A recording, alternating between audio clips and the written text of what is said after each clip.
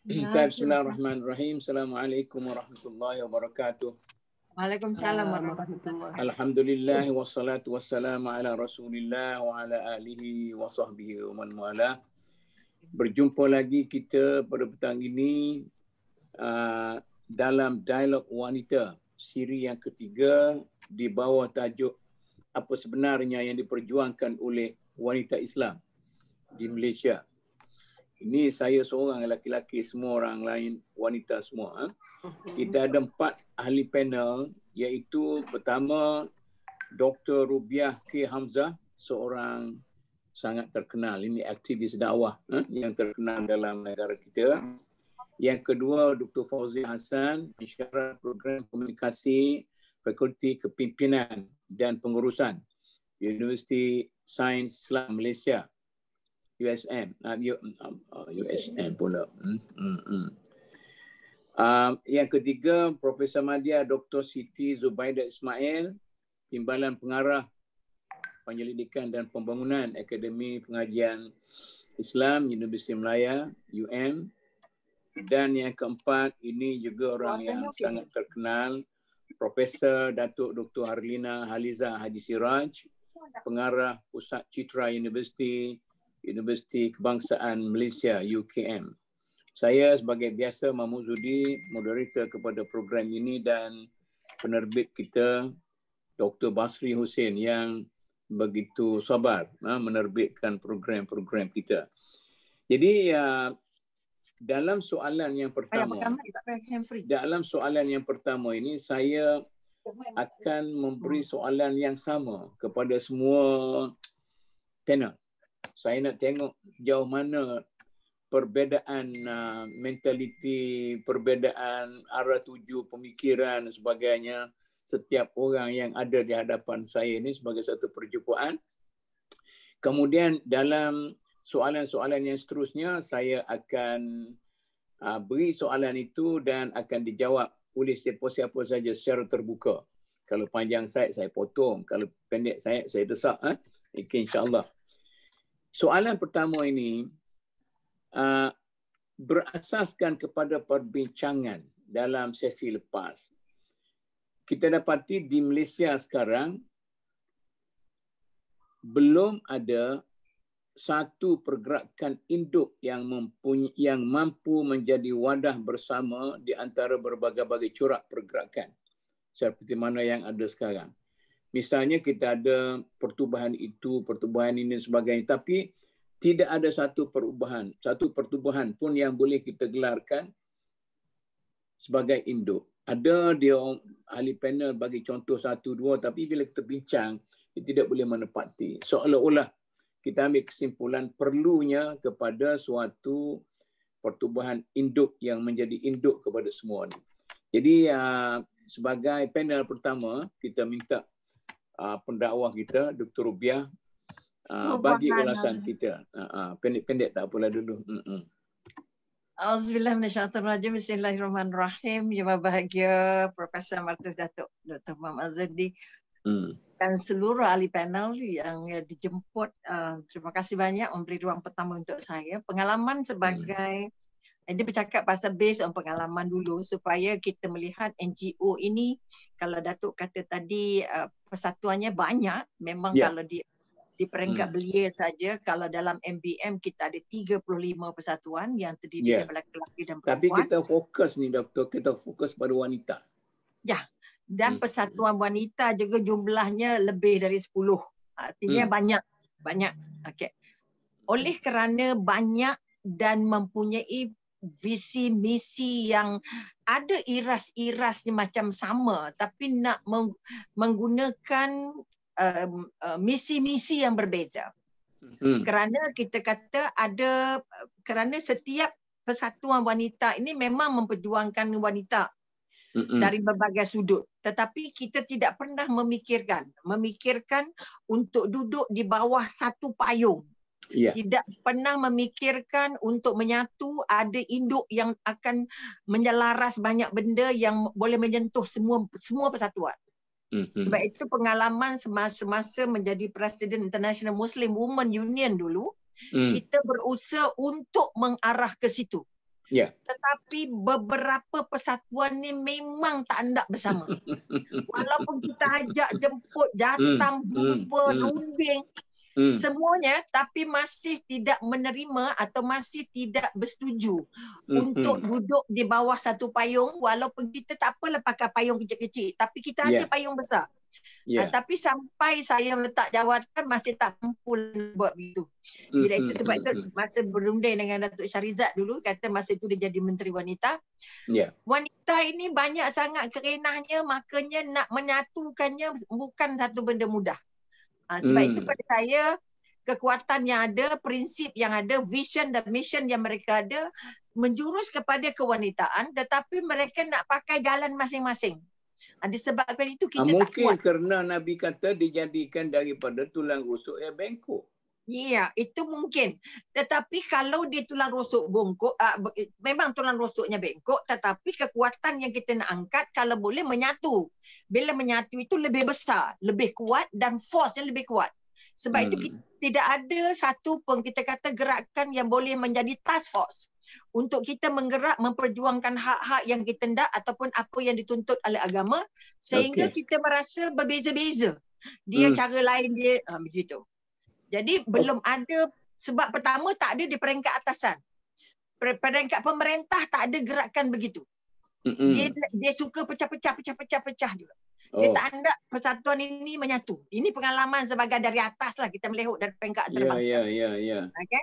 Jadi uh, sebab itu kepada saya sekali lagi tidak salah mengendalikan persatuan tetapi kalaulah ada kita ini yang ada ada keinginan untuk menyatu dalam banyak tindakan untuk menguatkan kita punya de, apa kan kita desakkan gerakan Hmm, itu supaya diterima oleh majoriti secara cepat kita wajib untuk bersatu tetapi disebabkan uh, apa perju, apa kita kata dasar-dasar yang ada yang tak selari makanya kita sulit untuk bertolak ansur. Kalaulah Ya. boleh dengan gerakan kita ini kita menjadi satu titik tolak untuk menyatu. Okey, cukup dulu. InsyaAllah. Cukup. Saya Okey, terima kasih banyak. Okey, terima kasih doktor. Saya nak pergi kepada Dr. Fauzia. Apa Dr. Fauzia? Uh, Bismillahirrahmanirrahim. Assalamualaikum warahmatullahi wabarakatuh. Uh, Salam. Jadi saya sebagai junior lah orang kata dalam uh, forum ni mengucapkan terima kasih kepada Prof. Dato' Zudi yang menjemput saya dan Hmm, uh, hmm. minta orang kata apa uh, uh, ahli-ahli panel dalam dalam forum ni untuk tegur lah kalau saya pun uh, agak kurang untuk memberi pendapat tentang soalan yang pertama ni. Tetapi. Hmm. Okay, um, idea saya kalau saya boleh kongsikan mungkin uh, kenapa tiadanya uh, satu badan induk yang menyelia meng, uh, mengurus uh, persatuan-persatuan NGO Islam di bawah satu payung ataupun di bawah satu uh, orang kata kerangka yang lebih besar. Mungkin uh, Yeah. Isunya adalah uh, kepada expectation sesuatu uh, sebuah pertubuhan itu dan juga bagaimana untuk mengukur uh, impak kejayaan sesebuah NGO yang uh, diwujudkan. Selain itu juga Datuk saya fikir uh, macam Dr. Rubiah cakap tadi bagus kalau kita dapat menyatupadukan uh, semua NGO-NGO di bawah uh, satu payung. Tapi mungkin kita dapat lihat bahawa cabarannya adalah cabaran untuk mengurus uh, menyatupadukan sumber kewangan, uh, sumber manusia. Kalau saya boleh bagi um, sedikit idea lah. Dan tapi ada juga mungkin kita uh, uh, isu lainnya adalah kita tengok uh, macam NGO wanita Islam dia ada uh, mungkin NGO dari aspek pendidikan, mungkin NGO keusahawanan, undang-undang dan sebagainya. Tapi mungkin kita boleh fikir bahawasanya ada kelebihan dan keburukan kalau kita buat centralization dan bagaimana pula decentralization. Dia ada ada cause and effect di situ. So Hmm. saya Hmm.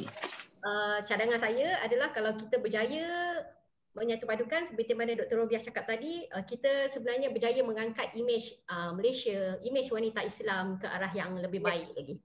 Okey, okey. Okey, Dr. Siti. Unmute. Bismillahirrahmanirrahim. Salam. Assalamualaikum warahmatullahi wabarakatuh. Salam warahmatullahi. Uh, terlebih dahulu saya ucapkan ribuan terima kasih uh, Datuk Mahmud Zudi kerana sudi menjemput saya lah untuk berkongsi uh, sedikit lah untuk makluman semua Hmm. saya tak adalah banyak pengalaman uh, dalam um, apa tu aktiviti NGO ataupun uh. Tidak mesti NGO, mungkin di bawah kerajaan pun mungkin kita iktiraf juga sebagai badan. Okey. Uh, saya sejak uh, beberapa tahun lepas merupakan hmm. Uh, exco uh, kepada satu gabungan NGO ya, satu gabungan yeah. Islam iaitu Malaysian Alliance for Civil, Civil Society for UPR Process. Mhm. Satu contoh gabungan lah ya. Uh, yang sebenarnya ada uh, yang bergabung di bawah payung Maksa, ya, ringkasnya Maksa. Boleh tengok detail di maksa.org, uh, maksa.com.my. Ya. Yeah. Uh, okay. Ini adalah satu contoh lah jika Datuk tanya tadi uh, kenapa tak ada ya untuk wanita. Mm-hmm. Mm-hmm. Uh, contoh maksa Mana lah. Dr. Siti kata ada sebenarnya?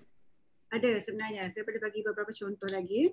Mm-hmm. Uh, satu maksa ni ialah uh, spesifik menggabungkan NGO Islam uh, hmm. membawa naratif uh, human rights dalam Islam uh, untuk menyeimbangkan lah ya suara-suara tentang human rights di Malaysia ini hmm. uh, dan kita menjemput uh, seramai mungkin NGO Islam untuk bergabung di bawah maksa.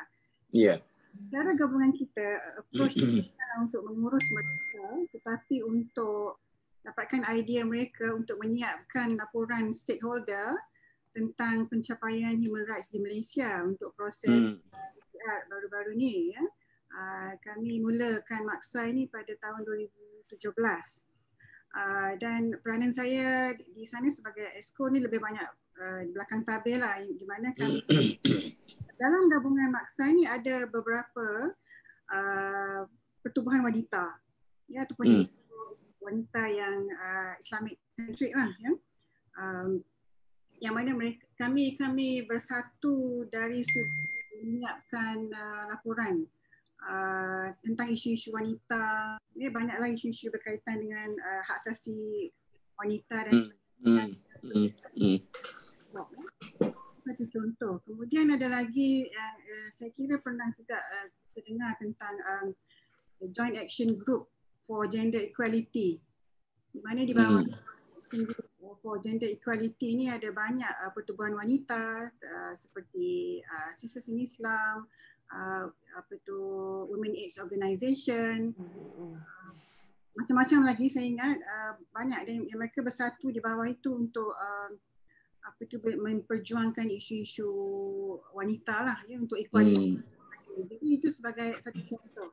Uh, mungkin yang belum ada ialah uh, saya rasa Pertiwi pun uh, ada kita ada dengan Pertiwi dulu hmm. Uh, ini semua ada ada ada yang yang saya kira um, banyak lagi yang mana um, mereka mempunyai misi, visi, objektif sendiri. Jadi ada yang uh, ditubuhkan di peringkat nasional, ada juga di peringkat lokaliti masing-masing di negeri. Uh, yang mana mereka punya agenda adalah lebih kepada mungkin um, empowerment of women, ya, memperkasakan wanita, uh, ada yang ditubuhkan untuk tujuan pendidikan uh, anak gadis, wanita, ibu tunggal. Uh, ada juga yang berjuang sebagai apa tu pusat perlindungan ya seperti um, Raudatul Sakinah, uh, seperti pusat lindungan wanita um, dan sebagainya dan ada juga Women's Association for Family and uh, Children dan macam-macam lagi banyak. Okey, okey. Hmm, hmm. Jadi semuanya itu adalah contoh-contoh kepada adanya adanya gabungan per, ha? Untuk pengurusan Datuk kita boleh bergabung hanya kerana satu kos contoh tadi human rights contoh tadi ya itulah satu aspek lah ha? okey tak apa prof Datuk ya. Arlina hmm. baik Assalamualaikum warahmatullahi wabarakatuh uh, salam uh, yang dikasihi Prof uh, Emeritus uh, Dr. Mahmud Zudi dan rakan-rakan panelis yang lain. Saya nak menyambung saja. Sebenarnya kalau kita lihat negara kita memang ada National Council uh, for Women's Organisation NCW hmm. daripada 1963 lagi yang itu hmm. dicetuskan uh, oleh uh, saya bermula dengan hanya 8 um, termasuk uh, NGO uh, pelbagai tu ya uh, dan hmm. pelbagai kaum uh, dan saya rasa uh, kita tahu antara presidennya seperti uh, uh, apa uh, almarhumah um, Tun uh, apa uh, Fatimah Hashim Mhm. uh, almarhumah uh, Tan Sri Datin Padu Kezaliha ya dan sekarang ini Hmm. adalah Tan Sri Prof Sharifah Hafsah yang mantan uh, Naib Chancellor UKM yang dulu ya. Hmm. Hmm. Hmm. Tapi di sini ni sebenarnya Prof uh, uh, Datuk dia memang mengumpulkan ya uh, semua NGO daripada uh, apa semua apa orang kata uh, uh, lapisan dan untuk memastikan uh, dia Hmm. menjadi satu platform. Jadi tentu sekali bila nak kata badan induk tu uh, dia hanya merupakan pada saya lah dia macam umbrella ya maknanya Hmm. bawah tu ada yang tadi macam uh, Prof uh, Siti kata um, tentang law and rights contohnya. Dia ada juga tentang Ya. keusahawanan. Dia ada juga tentang apa orang kata uh, uh, dari sudut social dan leadership gitu ya. Untuk uh, jadi saya rasa uh, untuk katakan tak ada badan induk tu mungkin uh, kurang tepat. Memang ada, cumanya Hmm. Hmm. sebabkan banyak sangat ya area yang dia nak nak pegang jadi kadang-kadang ya kita pun mungkin tak tak tak nampak apa orang kata uh, uh, apa yang dilakukan tapi pada saya NCWO main- mainkan peranan yang sangat penting uh, untuk memastikan di situ adanya suara wanita ya uh, dan untuk Ya. wanita Islam pula yang dia wanita Islam ni sebenarnya kalau yang paling saya terlibat ya uh, prof adalah um, di bawah Yadim ya Yayasan Dakwah Islamiah Yadim Hmm. semenjak Hmm. tahun 2000 lagi ada majlis perundingan wanita Islam Ya. Uh, saya terlibat masa tu saya masih lagi junior lecturer uh, tapi dia dia mempunyai nafas yang panjang sebenarnya sebab uh, di di bawah ya dia Pasal apa? Pasal apa Prof selalu sebut tapi tapi ni? uh, sebab dia memang uh, yang terbaru maknanya semenjak tahun 2018 Adakah maknanya tidak memenuhi kita punya kriteria? uh, bukan ada saya tapi. rasa dia dia bukan tapi kenapa kenapa sebab walaupun dah cantik tapi dia macam tak berapa tak berapa menjadi tu kerana Ya, saya saya Ah. sangat allergic dengan perkataan tapi dan oh kalau. minta maaf minta maaf saya Tak ada bukan ma- bukan minta maaf macam ni. Maknanya ada sesuatu yang tidak beres. Tapi dan kalau. dia memang dia memang tak beres sebab saya nak show uh, saya nak share di sini ini ini yang terkini mengenai apa yang Yadim tu ya dia ada mulanya majlis perundingan wanita Islam MAPID uh, saya sendiri pernah menjadi ahli dia pada Mhm. 2018 dia dijenamakan semula dengan nama Majlis Perundingan Wanita Rahmah Mawar Hmm. ya yang ni Hmm, sebenarnya hmm, tak sempatlah nak nak dimaklumkan sangat tapi saya kebetulan memang ada dia punya slide ni uh, Prof saya akan uh, just tunjukkan aja sebab bercakap atas angin ni kadang tak berapa seronok eh uh, jadi ini Ya. caranya kita memang ada satu apa saya sendiri menjadi timbalan presidennya presidennya ketika itu adalah Dr. Hafizah Mustaqim dan kebanyakan ni adalah ketua-ketua dan pem, apa, pimpinan kepada NGO Islam yang ada dan juga individu lah yang terlibat sama. Jadi Hmm, hmm. tujuan dia memang untuk menggembling uh, apa uh, badan NGO wanita Islam itu supaya kita boleh bergerak ya seiring dengan unit-unit yang lain dan fokusnya Ya. dakwah ya kolaborasi komunikasi objektifnya sangat jelas ya nak Hmm, mentransformasi pemikiran wanita ya nak memperkasa wanita melihat pada institusi keluarga sebagai asasnya ya sebab kadang-kadang pertubuh apa kalau katalah yang apa uh, uh, kumpulan yang mem, mempertah, apa, memperjuangkan hak wanita ni dia tak nak gunakan dia merasakan ke- keluarga itu adalah satu liability. Maka dengan itu itu itu tidak sesuai dengan wanita sebenarnya. Wanita memang ya meletakkan asas segalanya pada keluarga ya. Jadi di situ Hmm. clusternya ekonominya Hmm. undang ya. Dan ini dari sudut bagaimana kita nak bergerak dan frameworknya. Ini kolaborasi kita ya Uh, dan ini apa yang uh, harus berlaku. Tapi uh, itu tadi. Uh, saya mungkin nak ditanyakan macam mana apa yang berlaku pada Mawar hari ini. Tapi uh, uh, bila adanya pertukaran uh, dari sudut uh, kepimpinan uh, negara kita maka Yadim itu sendiri pun ya um, memang mempunyai rancangan yang lain. Maka kami yang di Mawar ini uh, sebenarnya dah di uh, kiranya telah diberikan surat. Terima kasih lah maknanya kita sebab uh, Yadim akan buat uh, apa majlis yang lain juga agaknya kan di bawah pimpinan yang baru. Jadi itulah dia nasib yang berlaku apabila kita dah dah mula nak bangun gitu tu Hmm. ada banyak aktiviti-aktiviti tapi orang kata sekali uh, uh, air bah sekali pantai berubah Tapi Ah, nasib baiklah ada surat terima kasih. Kalau tak ada pun tak apa, sama-sama lah. Yalah tak apa. Uh, ya. Tapi mana kita faham, kita jelas. Jadi mungkin kita pada pandangan saya, kita mungkin Hmm. perlu ada satu platform yang kalis perubahan ini. Maknanya Ya. dia tidak tidak tergantung kepada siapa yang memegang tampuk dan seterusnya sebab isunya yeah. memang sentiasa ada itu saja. Hmm, hmm, hmm. Itu satu masalah kita kan perubahan kuasa politik ah. Hmm. Okey. Dr. Rubiah, Dr. Rubiah ada timbulkan dua perkara tadi. Satu dasar beza-beza. Saya pun tidaklah telan bulat-bulat apa yang Dr. Siti kata ada macam juga uh, Prof uh, Haliza kata ada di Yadim tu saya pun lama ikut dekat Yadim tu ha. Jadi kita mengikuti perkembangan tu maknanya secara idealnya ada tetapi secara praktikalnya mungkin apa yang kita perlu perjuangkan ha. Jadi Dr. Rubiah kata ada dua cabaran iaitu dasar yang beda-beda dan satu lagi kerajaan tak mau mereka itu bersatu betul tak? uh, dalam apa kalau kita beli persepsinya begini hmm. sebab masing-masing bila ada persatuan dia keakuan tu tinggi hmm. keakuan memiliki nak rasa dia nak beza dia itu dia punya dan sebagainya sebab itu kalau ada persatuan pun yang yang besar ke yang kecil ada ahli di pusat ke di cawangan ke di ibu pejabat ke di bangsaan ke dan sebagainya Mm-mm. mereka merasa keakuan itu mm. persatuan itu milik mereka. Mm. Itu yang kita jelas dengan uniformnya, dengan itu, dengan ini. Akhirnya dia menimbulkan identiti-identiti keakuan itu besar. Oh, dia Maka, tidak ada kekitaan, tak ada? Kekitaan dari segi mungkin dia tidak orang buat program. Tapi kita kata kalau tadi Prof kata dan semua orang uh, pada panel tadi kata ada, tapi adanya tu kehadirannya tu kita tak rasa sangat hanya mereka yang hmm. terlibat. Uh, matalah kalau tadi Prof terlibat sebagai sebagai esko ataupun sebagai naib presiden, maka dia tahu. Hmm. Jadi macam saya tak terlibat, tak tahu. Bermakna hmm. sentuhannya belum sampai ke bumi. Maknanya adanya gabungan-gabungan ini belum membumi secara mendatar. Maknanya tak sempat nak membumi program. tak sempat. Itulah, itu, itu, itulah maksudnya. Maknanya kalau kita kata sebabkan tukar kerajaan, sebabkan tukar kepimpinan, maknanya kerajaan tak anda menghormati apa yang dah ada. Betul. Patutnya sambung aja lah. Yeah. Patutnya suburkan sajalah. Tak payahlah tukar tampuk ya? atas ke bawah semua hilang.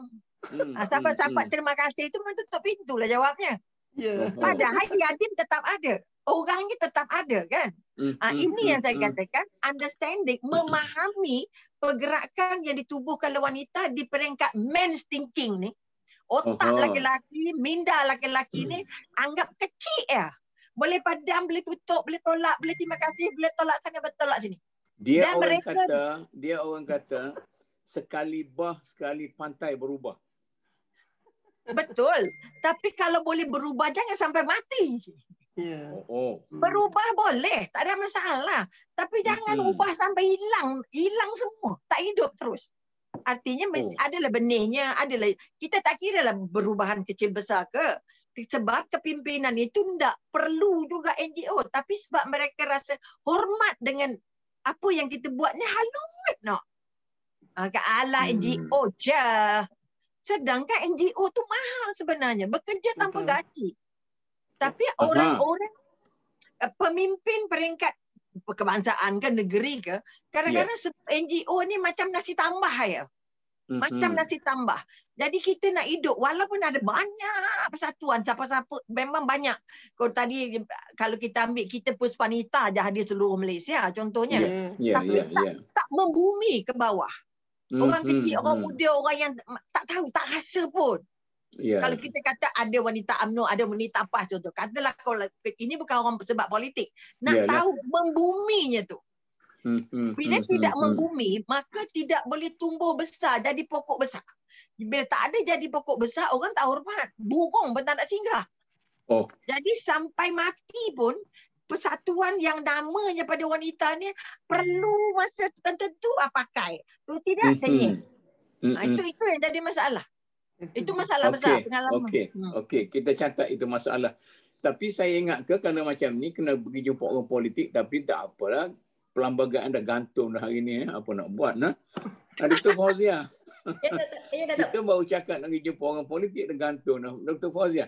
Dr. Fazal kata tadi ada dua faktor juga soal keuangan dan pengurusan mm-hmm. sumber manusia jadi masalah. Betul ke ni? Uh, Okey, itu pendapat saya Dr. Contohnya yeah. uh, kalau kita macam tadi uh, apa nak me, nak nak mewujudkan satu orang kata induk yang besar dan di bawahnya yeah. ada banyak NGO-NGO wanita Islam yang berdaftar di bawah satu payung mungkin mm. uh, cabarannya di situ adalah bagaimana nak mengurus macam mana tadi panel sebelum ni pun cakap uh, setiap NGO dia ada identiti dia tersendiri setiap NGO dia ada sifat keakuan dia tu so macam mana kita nak buang sifat keakuan tu nak mewujudkan kekitaan so itu cabaran juga kepada uh, pemimpin yang menaungi uh, NGO itu sendiri dan saya juga uh, uh, ingin respon sikit apa yang Dr. Robiah yeah. tadi uh, kenapa uh, bila berubahnya kerajaan uh, uh, ber, akan berubahlah benda-benda yang lain. So yeah, yeah. Uh, di sini peranan NGO saya fikir uh, NGO yang kerja tiada gaji sukarela dia sebenarnya menjadi penghubung di antara masyarakat dan kerajaan. So sepatutnya NGO kena lebih uh, uh, menyelahkan lagi supaya uh, suara dia didengari kerajaan bukan setakat berdegang di dalam media. Tapi kadang-kadang NGO ni NGO ni dia suka nak associate diri dia dengan sama ada kerajaan atau pemerintah dia tidak boleh sendiri. Macam mana dia macam ada dalu kan? Sama ada awak orang kerajaan atau awak ni orang pembangkang itu aja dia tak boleh nak berdiri sendiri, tak ada keyakinan. Ha, itu mungkin mungkin juga salah satu uh, sifat uh, NGO tu sendiri juga Datuk. Pada saya dia ada satu NGO yang begitu uh, menyokong kerajaan uh, so dia akan berpihak dan begitulah sebaliknya. So dia tidak uh, maksudnya tidak secara umum. Contoh saya mengambil contoh uh, uh, Sisters in Islam okey. Dia uh, menzahirkan dia vokal tentang suara wanita tetapi tidak hmm. wanita secara keseluruhan dan tidak hukum Islam secara keseluruhan hanya satu-satu aspek saja dia vokal. Oh, oh tu satu lagi. Itu okay, Dr. Okay. Rubiah punya komplain tadi lah. Eh? Mana dasar lain-lain. Ah, Dr. Siti, ya Dr. Siti kata tadi, saya rasa itu dia gender dengan human rights saja. Mungkin eh, tapi benda-benda lain dia tak masuk dia? Uh, ya Datuk, um, sebab maksa ni dia lebih kepada uh, isu-isu tadi lah ya, uh, hak asasi manusia dan Ya, yeah. dia nak sokong LGBT masa saya hidup di human rights itu macam betul lah? Secara umumnya uh, kita juga boleh mengapa ni mem, uh, maksudnya bersekali lah bersama-sama dengan isu wanita ini kerana di bawah maksa pun ada uh, ada satu grup. Ada satu grup yang uh, cuba untuk uh, menangani atau mengendalikan isu wanita. Di mana uh, kami ada lawyer, kami ada pensyarah dan sebagainya membantu juga menjadi suara di dalam jawatan kuasa yang, di, yang ditubuhkan di bawah Kementerian Pembangunan Wanita untuk mm-hmm. menyiapkan undang-undang sexual harassment, orang undang-undang uh, kesaksamaan gender jadi kami uh, mewakili, ya, pihak-pihak kami juga ada wakil iaitu yang membawa suara, suara-suara uh, civil society ini kepada pihak kerajaan. Kerana ini adalah satu sifat dalam negara yang demokrasi berpartisipasi yang mana masyarakat madani juga mampu menjadi third voice yang boleh uh, mem, mem, apa ni membantu kerajaan dalam membuat keputusan, membuat dasar-dasar ya uh, yang berkaitan dengan wanita. Jadi idea-idea yang kami perolehi daripada ahli-ahli uh, coalition, ahli-ahli gabungan inilah yang kita uh, bawa ke atas untuk uh, membantu kerajaan dalam usaha menambah baik eh? menambah baik uh, uh, kuranglah dalam masyarakat. Okey, terima kasih ya Dr. Siti. Saya nak pergi ke Datuk ah, Prof. Ya. Yeah. Yang saya saya menarik dengan dua perkataan tadi uh, apa tu tetapi dan kalau tadi cuba yeah. huraikan sikit maknanya secara asasnya ada tetapi uh, kerana kekurangan mungkin dia tak jadi macam satu payung yang besar yang semua orang boleh duduk di situ macam-macam kerana ya. Baik. Tapi uh, Prof Datuk kalau boleh saya nak respon sikit pada Dr. Fauziah punya tentang NGO tadi. Ya. Hmm. Dia, hmm. Uh, saya sebagai seorang yang duduk dalam NGO dah dekat 30 tahun, saya saya hmm. nak, nak maklumkan NGO sebenarnya dia non partisan. Kalau daripada ROS terpunya ni memang dia dikatakan kita tidak boleh uh, berpihak yeah. kepada yeah. ya. Yeah. Uh, so mm-hmm. we are we are supposed to be holding our apa orang kata uh, non partisan tu. Jadi oleh sebab Mhm. itu kena berasaskan uh, berasaskan prinsip. Mana bila berasaskan prinsip, kita memuji musuh kita kalau dia buat yang betul, tapi kita Hmm, menegur hmm. teman teman se- sebantal kita kalau dia melakukan yang salah. Ya, dan Hmm. itu bukan satu peran satu peranan yang mudah ya sebab bila kita nak melakukan uh, begitu, dia kita selalu dilihat sebagai talam talam dua muka ni, Prof. Uh, Uh, uh, uh, sekejap Mm-mm. kan. Uh, dan untuk menjawab yang tidak dan tapi tadi, izinkan saya Hmm. mungkin memberikan perspektif dari sudut uh, macam mana kita melihat eh, kita punya hubungan gender di dalam masyarakat kita ni. Ya, Uh, ya. saya rasa sebelum kita faham tentang ni, kita akan ada ada banyak per, per, per, apa orang kata yang kita kena Hmm. jadi saya Mm-mm. nak explain sikit share ni. Yang ini adalah uh, just untuk mem- memberikan apa kefahaman tentang sikap kita terhadap hubungan antara gender. Sebab ini penting sebab kadang-kadang Hmm. apa pula yang yang macam cerita sini Islam dia punya ya pandangan dia begini dan begitu ya. Hmm. Hmm. Hmm. Lihat di sini uh, saya ada lihat uh, ada tiga kelompok ni ya. Yang paling kanan itu adalah yang Ya. dan tradisional ya. Dan yang paling kiri itu adalah radikal dan liberal. Dan yang tengah-tengah itu adalah yang saya anggap sejahtera dan seimbang. Ni bila melihat kepada gender, untuk yang konservatif, dia melihatnya dalam konteks patriarki. Maknanya lelaki itu diciptakan lebih mulia, lebih hebat, lebih berkuasa, ya, eh, menyebabkan Mm-mm. dominasi lelaki terhadap wanita. Dan ini Ya. itu yang tadi kita dah elok-elok NGO tapi alah orang perempuan punya NGO kan macam yang apa uh, uh, Dok- Dr. Rubia cakapkan tadi uh, memujukkan ketidakadilan, diskriminasi, penindasan, keganasan, eksploitasi dan ini secara umumnya akan menzalimi dan menyekat potensi dan menafikan sumbangan wanita. Ini sebenarnya produk tu sangat merugikan dan melumpuhkan pembangunan sosial dan ekonomi kita. Yang ini dah memang banyak studi ni. Dah memang dah ditu- ditunjukkan kalau misalnya wanita boleh terlibat sama tanpa adanya ya tekanan patriarki ini kita memang boleh membantu ya masyarakat kita uh, maju.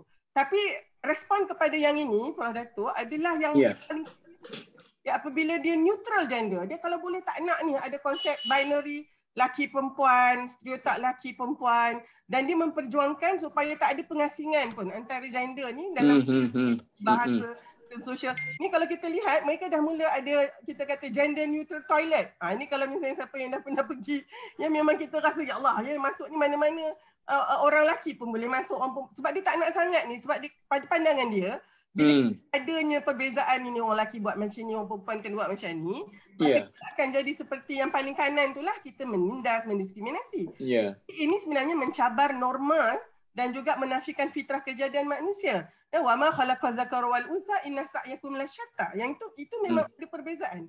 Maka kita kan uh, Prof Datuk kena pergi kat tengah-tengah tu. Yang mana ianya saksama dan sama rata. Maksud dia apa? Wanita dan lelaki memang diciptakan berbeza tapi kita saling melengkapi. Ya, dan oleh sebab itu kita kena berkolaborasi. Dan ia memperkasakan wanita untuk capai potensi diri dia dalam masa yang sama meningkatkan wama lelaki itu supaya dia Hmm, hmm. diakui dan menghargai sumbangan wanita. Dan ini mewujudkan suasana kolaborasi, inovasi dan inilah satu-satunya yang akan menjadikan wanita ini menyumbang secara maksimum dan kita akan membangunkan rugi sangat masyarakat kita ni Prof Datuk kerana Ya, wanita ya. ambil tempat ya di dalam membangunkan masyarakat kita. Jadi apabila ah ini contohnya lah ya kalau orang yang patriarki dia ambil daripada zaman batu dulu tu ya. Hmm. Hmm. Yang toilet ni saya rasa Prof Datuk pun pernah tengok ni. Saya di New Zealand baru ni semua toilet dah macam ni ya. Ah, dan ini, yang ini ni adalah Masa saya duduk di England tu tak ada lagi macam ni. Saya pun tak tahu ke. Ha. Hmm. Ya, ya, sekarang ni jangan terkejut Prof kalau masuk tu tiba-tiba ada orang perempuan masuk sekali. Ah ya, ah, okay. Oh. Jadi yang ini sekarang ni yang yang saya katakan pertengahan tadi, yang ini saya rasa kena kita fahamkan apa dia equity, apa dia equality ya. Maknanya Ya, ya, ya. kita lihat dalam konteks ini kalau kita tengok uh, equity adalah kesaksamaan untuk mendapat peluang yang sama memetik buah tu. Jadi untuk orang yang rendah dia kena diberikan tangga yang lebih tinggi dibandingkan Mhm. dengan orang yang tinggi kan. So uh, barulah dapat peluang yang sama. Dan dan se- bila dah semua macam tu, uh, semua ada peluang sama rata untuk mendapat ganjaran yang sama. Maknanya kita hanya boleh buat tu apabila kita dah bantu. Jadi pada saya, ya equity tu adalah uh, equality tu adalah matlamat objektif kita supaya kita semuanya ya mendapat ganjaran yang setimpal. Tapi Ya, ya. adalah wasilah dia. Jadi maknanya kena Mm-mm. dua-duanya kena ada. Jadi pada saya uh, uh, Prof, inilah dia sebenarnya spektrumnya ya. Maknanya kalau kita lihat kenapa yang kita duk tapi dan kalau tu kerana Hmm. kita belum berada di atas muka surat yang sama. Maknanya Okey. ada NGO Ya. yang lebih ke kanan tu, ada NGO yang lebih ke kiri. Jadi, saya kira fikrah kita mesti menuju kepada muslihah yang progresif ini. Namun Hmm. satu lagi sebelum saya nak habiskan, bila kita berada di tengah ni, Prof Datuk, pengalaman saya lah ya, bila kita cuba berada di tengah ni, yang sebelah kanan tu akan sentiasa melihat kita ni liberal juga. Ya Allah, Hmm. Halimah tu pakai tudung labuh pun cakap pasal seks-seks. Ha, macam tu. Ya. Hmm. Hmm. Saya masih bercakap tentang aspek tu. Tapi orang yang sebelah kiri ni, uh, yang liberal ya, sistem sini Islam, dia masih melihat saya seperti Taliban. Sebab saya masih lagi mempertahankan institusi keluarga, Ya. seterusnya. Jadi pada saya, bila kita berada di satu kedudukan dan kedua-dua pihak ni memang tak suka kat kita, di situlah letaknya kita berada di atas prinsip yang benar. Allah Ya. Okey. Ah, satu pusingan kita dah boleh nampaklah sikit-sikit dah. Tapi dari semua perbincangan ini, saya nampaknya saya nak lontar satu persoalan iaitu kerana kita memperjuangkan wanita di Malaysia ini tidak berasaskan kepada budi dan daya kita kita ikut-ikut ada orang yang berjuang berasaskan ala Timur Tengah. Ada yang berjuang ala Barat. Jadi kalau kita boleh mencari satu titik persamaan berasaskan kepada budaya kita, persikataran hidup kita. Jadi saya ni sebagai orang orang syariah kan kita selalu saya selalu bercakap tentang kalau kita masih bergantung kepada pandangan para fukaha, maka selama itu kita akan berkelahi. Tetapi kita ada Al-Quran dan As-Sunnah. Dan Al-Quran Sunnah itu kita perlu tafsirkan dalam realiti kehidupan kita. Dan budaya kehidupan kita barulah kita boleh bersatu. Saya nak minta siapa-siapa yang sambung ataupun macam mana saya nak. Saya bukalah kita santai sajalah berbual-bual begitu senang orang nak dengar Datuk pun. saya respon dulu. Ya, ya. Ya, silakan. Uh, macam Datuk cakap tadi mengenai identiti berbalik merujuk kepada soalan nombor kan, Datuk? ya. Ya. Uh, so selepas saya mendengar uh, daripada Prof Datuk Halina kita ta- kita nampak uh, ad- ada wujudnya NGO-NGO wanita Islam seperti Mawar, Piswi yang setakat yang saya baca dalam bacaan saya lah. So saya Hmm. fikir uh, de- uh, untuk meningkatkan identiti uh, NGO wanita Islam uh, apa yang kita dah ada sekarang ni kita kena perkemaskan lagi, kita kena perkukuhkan lagi supaya uh, uh, ianya uh, identiti NGO tersebut dapat diserlahkan sebab saya fikir Hmm. uh, kalau kita uh, uh, men- wujudkan lagi NGO-NGO yang kecil-kecil tetapi yang besar seperti Mawar uh, dan yang lain-lain uh, dia tidak uh, Ni mawar mana ni? Mawar putih ke mawar merah? Mawar Yadim tu dah tak ada Fauzia. Hmm. tak ada. Cumanya okey mungkin saya boleh respon sikit. Ha, kami kami tengah buat satu yayasan kepimpinan Mawar. Tapi nanti Aha. kepada Fauzia punya ni. Ah, okey, Ah, okey. itu adalah okey. Mawar tu juga. okay. Ah, ada lah mawar juga. Okay, Tu dah- ada lagi yang berduri tak berduri. Dan nanti saya tanya lah kalau apa. Oh. Uh, itulah pandangan saya cuma uh, kita kena perkemaskan lagi lah sis- dari sudut keorganisasian. Dan nanti yang saya tekankan soal bukan identiti pertubuhan itu tetapi yang beridentitikan nilai tempatan. Hmm. Mhm. Kita banyak cedok daripada ada orang yang pergi sampai ke Timur Tengah sampai nak tutup semua penuh. Ha? Sampai ke apa tu nama apa budak Pasir Mah tu dia pun nak pakai ni, ni kan tu dah nama apa nama Uh, nama macam bunga ah, Ma- ber- itu dia tudung sini juga ekstremis juga ada yang macam uh, rakan saya juga uh, Siti Kasim tu dibantai habis. Mana jabatan agama JAKIM tak betul semua sekali. Orang JAKIM masuk. Ap- jadi ma- macam mana ni kalau kita adakan satu pertubuhan besar yang boleh merangkumi semua sekarang ni saya katakan Hmm. kata saya kata Siti Kasim kata Allah Siti jangan duk marah sangatlah kita ni perlu memperjuangkan idea berasaskan kepada cinta dan apa semua. Oh dia kata dia orang lah jahat. Jadi senang menjadi senang macam tu kan macam mana ni Cuma uh, Datuk tu yang saya respon sikit dia uh, dengan adanya uh, NGO-NGO yang telah wujud ni kita perkemaskan lagi uh, dengan identiti kita yang sendiri tersendiri. So maksudnya dari situ kita dapat uh, menyahkan ataupun image-image uh, daripada antarabangsa ke apa ataupun daripada luar ke hmm. uh, itu yang itu yang saya kata kita kena ada acuan kita tersendiri lah dalam setiap hmm. NGO yang kita tubuhkan. Okey, acuan. Apa okay. tu acuan? apa dah nak tu? buat acuan sendiri tu ha okey siapa dia orang lain pula sambulan tak apa hmm. dah acuan ikut Malaysian punya perspektif lah datuk saya fikir tidak terlalu sekular tidak terlalu uh, liberal ini masa duk kerja dengan Abin duk pakat dengan Abin dulu tahun 60-an awal 60-an pun uh, dia kata-kata kita mesti Islam dalam acuan kita sampai sekarang ini tak keluar acuan tu Islam hadari datuk Islam hadari entah mana jadi hadar-hari macam mana ni? Tambah sikit Datuk. Ha? Tambah sikit tentang... Ya, lah. Jangan minta izin. Masuk terus. Pintu sudah dibuka. Kalau Datuk tanya tentang identiti, sometimes kita hmm. baca identiti uh, persatuan itu berasaskan kepada pemikiran dia, penulisan dia dan sebagainya.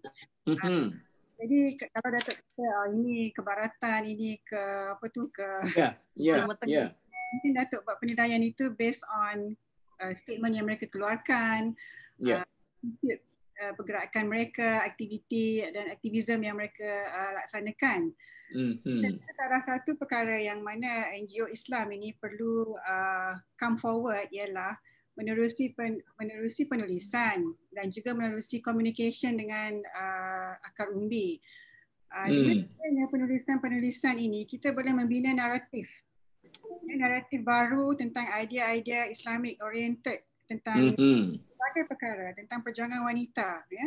Kalau kita kata emansipasi wanita tu mungkin uh, sudah dah dah ada progres dah banyak dah di Malaysia ini ya perjuangan wanita tidak tidak lagi ke arah sebagaimana yang Profesor Datuk sebut tadilah uh, ke apa kesamarataan ya lelaki perempuan uh, kita sudah mungkin ber, sudah beralih tapi Datuk Arina kata di Kanada dah jadi gitu di New Zealand ke Kanada tadi kan hmm. dia mungkin tak ada Contoh. Bilik air satu saya dulu masuk dulu di luar tu saya kata pasal apa perjuangan gender ni dia tidak perjuangkan bilik air yang sama rupa-rupanya dah ada. Kita kena tengok isu lokal ya, isu lokal. Hmm. Uh, jadi apa yang kita boleh uh, kemukakan kepada NGO-NGO Islam ini ialah menambah naratif yang bercorak Islamik supaya yeah. boleh baca dan uh, boleh apa sampai ke minda dan membentuk pemikiran mereka uh, um agar idea-idea tentang perjuangan wanita ini lebih islamik, lebih moden ya dan uh, tidak progresif ya uh, dan biar biar sesuai dengan masa permasalahan semasa. Kita boleh berjuang untuk uh, memartabatkan wanita, memperkasakan wanita, uh, meningkatkan taraf kehidupan wanita dan sebagainya tak salah ya. Uh, dalam hal dalam masa yang sama kita juga perlu tonjolkan uh, aspek komunikasi itu supaya idea itu uh, dapat sampai uh, kepada bacaan umum kepada hmm. semua pihak untuk membentuk naratif baru dalam perbi, apa ni per, perbincangan tentang uh, hak-hak wanita, perjuangan wanita dan sebagainya. Naratif baru. Nanti dah saya pungut satu tu. Naratif baru. Belum start lagi dah kelahi. nak tulis naratif baru tu. Kemudian kita nak tulis. Kalau tulis dalam jurnal, hanya empat orang saja baca. Dia tulis dalam majalah popular. Orang baca tu pula tidak ilmiah. Jadi macam mana kita nak buat naratif yang baru ini? Eh? Sekarang kita ada kita ada banyak platform media sosial ada. Kita boleh guna Facebook untuk mengemukakan uh, statement-statement uh, yang bersifat pendirian uh, NGO itu sendiri. Eh, sebagai contoh ya kalau kalau kita tengok uh, isu um, child marriage ya isu perkahwinan hmm. uh, ada NGO yang mempertahankan kerana ini dianggap sebagai satu kezaliman terhadap uh, anak gadis dan sebagainya. Dan ada pula uh, NGO lain yang bersifat defensif ya mem, mem, apa ni mem, mempertahankan uh, mahkamah syariah kerana membenarkan perkahwinan bawah umur. Uh, jadi apakah apakah apa tu stand yang sebenarnya tentang hal ini? Justru pihak pihak NGO ini yang perjuangkan tentang um, apa tu perlindungan wanita dan sebagainya perlulah hmm. bukakan pendapat mereka dan supaya perkara ini boleh dilihat dengan uh, pelbagai perspektif supaya kita tidaklah melihat perkara ini sebagai satu yang anti saya saya nak sebut timbul ni tidakkah boleh budaya warisan kita menjadi asas kepada naratif yang baru Boleh. kita ada Islam kita Ya. ada Quran ada sunnah dan kita ada budaya warisan kita ha? boleh ke kita Sangat jadikan naratif Itu ha? Sebab itulah NGO-NGO wanita Sangat boleh. kena ada um, involvement ya, yang daripada pelbagai uh, golongan ya tidak hanya uh, tidak hanya kena kena cuba engagekan dengan contohnya orang-orang yang lebih uh, ada jawatan ya uh, dapatkan idea-idea ini untuk mempertingkatkan lagi kemahiran uh, hmm. Dapatkan seorang yang boleh membantu dari sudut membentuk idealis idea-idea baru dalam NGO masing-masing tu. Jadi ini boleh membuat boleh apa ni boleh secara organik eh, uh, meningkatkan lagi lah taraf uh, sesebuah NGO itu. okey okey siapa dia lain nak mencelah lagi ha Um, Nak masuk tapi nak uh, dengar sikit. Dr. Rubiah dulu. Ha. okay, Ya. minta, Ya, minta maaf tak apa. banyak. Okay. Dr. Rubiah ha. Uh, percambahan uh, ideanya sangat sangat cantik, okay. Tetapi Hmm. kita mampu bercakap di level bawah Betul? Hmm. yang nak angkat apa yang kita bincang ni, yang kita hasratkan ini, kita tak dapat angkat sendiri ke paling atas selagi tidak ada campur tangan di pihak atasan sebagai pentadbir. Bahagian agama ke bahagian wanita ke bahagian jabatan Perdana Menteri ke dia mesti ada mesti ada satu jaw- kalau nak kata portfolio yang khusus mem- melihat kepada gerakan NGO Hmm. yang mana dia boleh buat framework yang besar untuk Mm-mm. semua NGO isi. Ikut sikit dulu framework yang dibagi.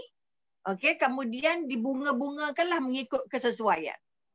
Kalau gerakan ini tidak bermula dari atas, ini pengalaman lah macam apa Datuk um, uh, tadi kata lama di NGO, Mi pun juga lama di NGO daripada pelajar sampai habis sampai ketua dah. Okey. Maknanya selagi tidak ada orang atas rasa respect kepada NGO, besar Betul. mana lah kita jerit, rakyat lah kot mana pun, berbaris lah kot mana pun, nak yang idea yang nak diangkat ni hilang tengah-tengah. Saya nak mencelah, saya nak mencelah ni.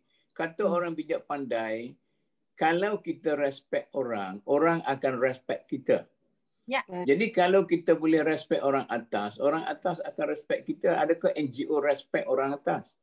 Pertama, kalau boleh, kita nak orang atas nampak bahawa NGO ini adalah satu daripada tangan-tangan bantuan untuk masyarakat.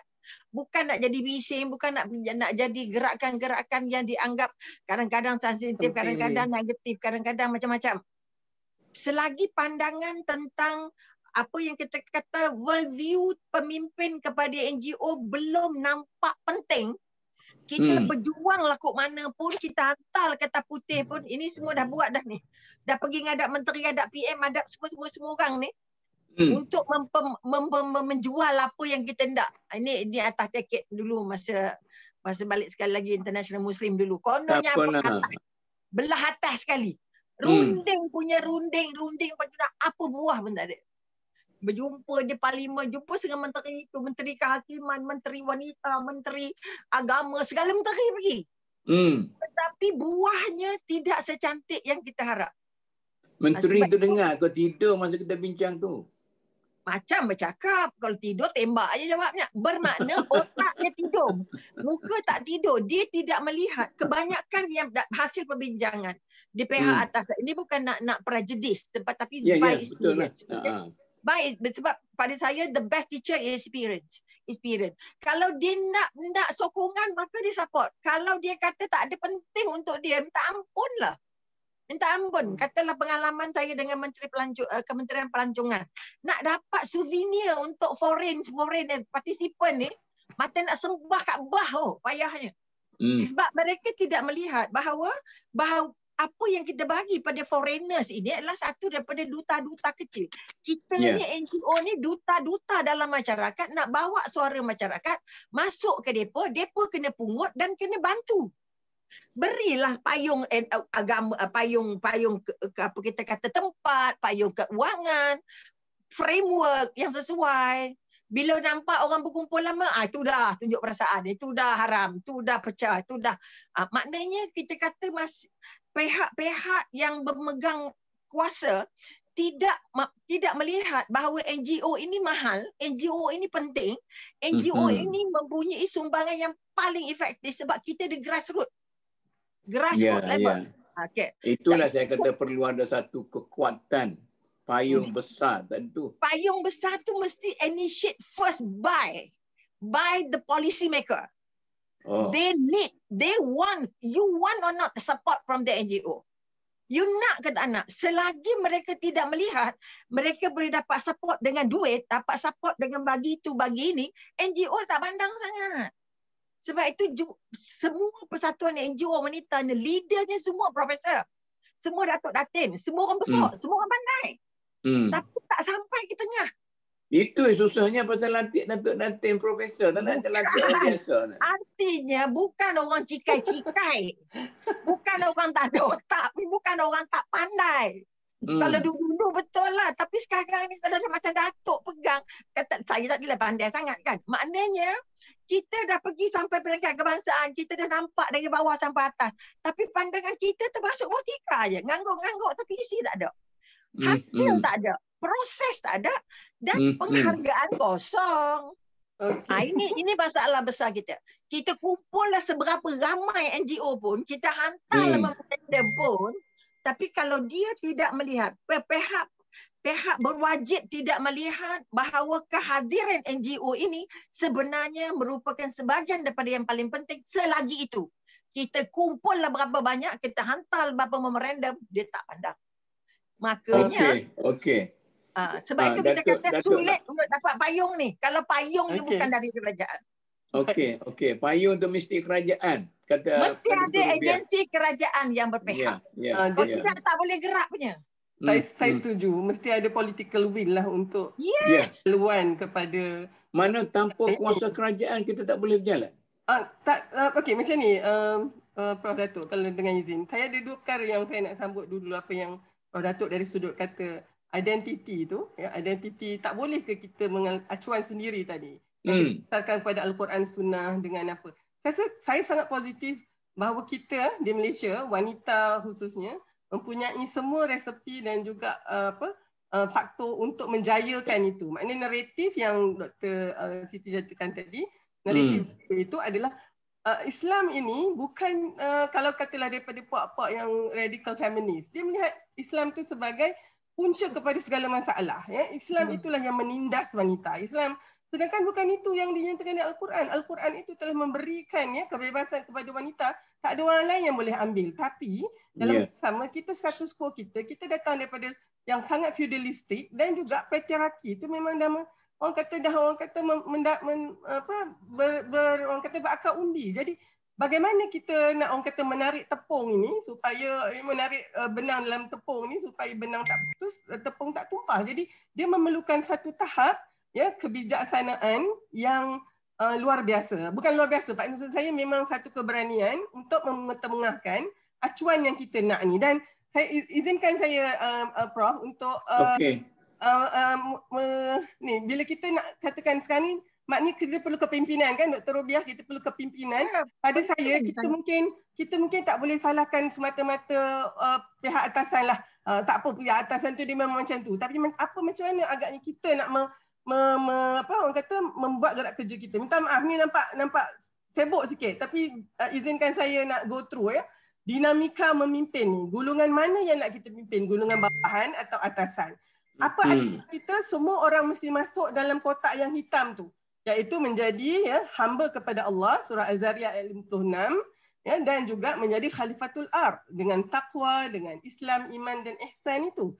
Kita tahu itulah dia di mana kita ya Prof. Datuk uh, menjadi insan yang akan ya menggunakan potensi yang terbaik. Okey.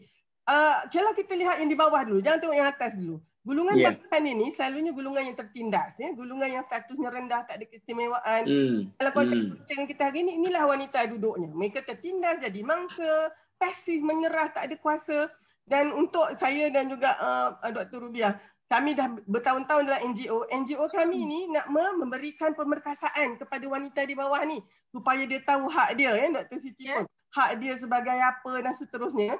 Dan untuk memimpin gulungan bawahan ini, ya kita kena jadikan mereka ya uh, uh, tahu bahawa mereka bukan hamba manusia mereka adalah hamba kepada Allah. Maka konsep izzah itu penting ya daripada seorang yang contoh di sini adalah seperti Saidina Bilal. Bila dia telah mendapat ya dapat akidah yang yang mantap itu ahad ahad tak kira apa pun dia berpegang kepada tu. Ketika itu mentaliti dia berubah daripada mentaliti jumud kepada yang bercambah meningkat motivasi keluar daripada zon selesa dan masuk ke dalam kotak hitam tu dan terus terang saya katakan um, Prof. Datuk, saya dah penat buat kerja ni. Sebab nampak gaya macam macam uh, Dr. Rubiah lah. Nampak macam tak ke mana-mana juga. Saya perasan hmm. rupanya hari ni, sekarang, sekarang saya kena duduk di atas tu. Ya, kita tengok siapa yang kat atas ni. Ini adalah hmm. hubungan yang menindas. Ya, mereka ni berkuasa, berkepentingan. Ya, mereka ni memang berpengaruh. Ya, ini hmm. hmm. penindas, pembuli, pemangsa. Sifatnya agresif, berkedudukan, berpengaruh. Ya, kalau dia di rumah dia jadi suami yang zalim. Kalau dia uh, di dalam masyarakat dia menjadi seorang pemimpin yang sangat korup contohnya. Bagaimana kita nak memimpin golongan atas ni? Kita tak boleh bagi pemerkasaan. Kita kena semaikan empati.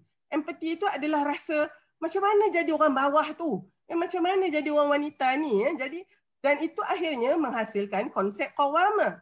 Ya, ar-rijal qawam tu. Qawamu ala nisa tu Maknanya hmm. lihat kepada tanggungjawab, tugasan. Dah kita ada kuasa, kita tak bolehlah menggunakannya untuk mendera dan mengeksploitasi dan menyalahguna. Kita kena melindungi, membela, menjaga, memelihara kerana itu amanah dia. Ah, dan hmm. itu hmm. daripada saya, Datuk, kalau misalnya boleh saya itu sekarang ni tujuan saya. Saya memang kena berada di atas itu untuk memimpin golongan atasan ini. Dan pada saya di situlah rupanya Rasulullah kata, bantulah orang yang dizalimi dan menzalimi. Maka para sahabat tanya bagaimana nak membantu orang yang menzalimi ni untuk menghentikan kezaliman dia. Nah, sebelum saya habis ni, tengok majoriti senyap tu Prof. Di uh, hmm. tu, kita ada satu lagi kelompok yang saya katakan sebagai silent majority. Mereka ni tidak orang bawahan, tidak pernah tertindas tapi juga tidak menindas. Jadi mereka ni orang yang yang, yang orang kata atas pagar ni dan yeah. salah hari ni mereka ni tak cakna, mm-hmm. tak prihatin, tak ambil berat, asalkan mm-hmm. okey dia boleh makan ya. Uh, yang yeah. pagar ni mereka ni juga kita perlu uh, semaikan empati akhirnya mereka terus sama dalam masyarakat akhirnya kita akan bertemu di tengah-tengah itu sebagai ya masyarakat rabbani insyaallah. Allahu a'lam. Mereka ini biasanya terdiri daripada golongan menengah atasan yang sudah Betul, kenyang. Betul, Datuk. Betul. Dan berperut gendut kata orang zaman dulu kan. Tetapi persoalan tadi saya nak cerita sebelum COVID dulu tahun lepas ya. Saya ini kali keberapa lah pergi cuba mem- memahami apa yang berlaku di di Indonesia sebab kita mempunyai uh, budaya yang sama dan sebagainya kan. Jadi saya tengok sekarang ini berlaku perubahan Muhammadiyah dan Nahdlatul Ulama tidak setajam dulu dia punya pertentangan dan mereka itu boleh hidup sendiri tanpa berhajat sedikit pun kepada kerajaan dan orang politik. Malah orang politik dan kerajaan memerlukan kepada mereka sebab mereka kata ada undi yang kuat yang boleh menentukan siapa nak jadi kerajaan. Macam mana ni? Itu kalau Muhammadiyah yang sekarang dan Datuk hmm. Ulama yang sekarang tapi dasar hmm. hidup dua-dua persatuan ini adalah trust politics. Pemimpin hmm. dia mereka merupakan golongan penentu undi dari segi politik dari dulu. Yeah. Yeah, yeah. Mereka bukan ditubuhkan dan just sebagai ulama tapi ditubuhkan atas dasar mem, mem, mem, mem, mem, mem, kita kata memperjuangkan kemerdekaan. Jadi hmm. asas patriotics dia orang, asas sayang bangsa dia orang, asas untuk berjuang dia orang lebih genuine.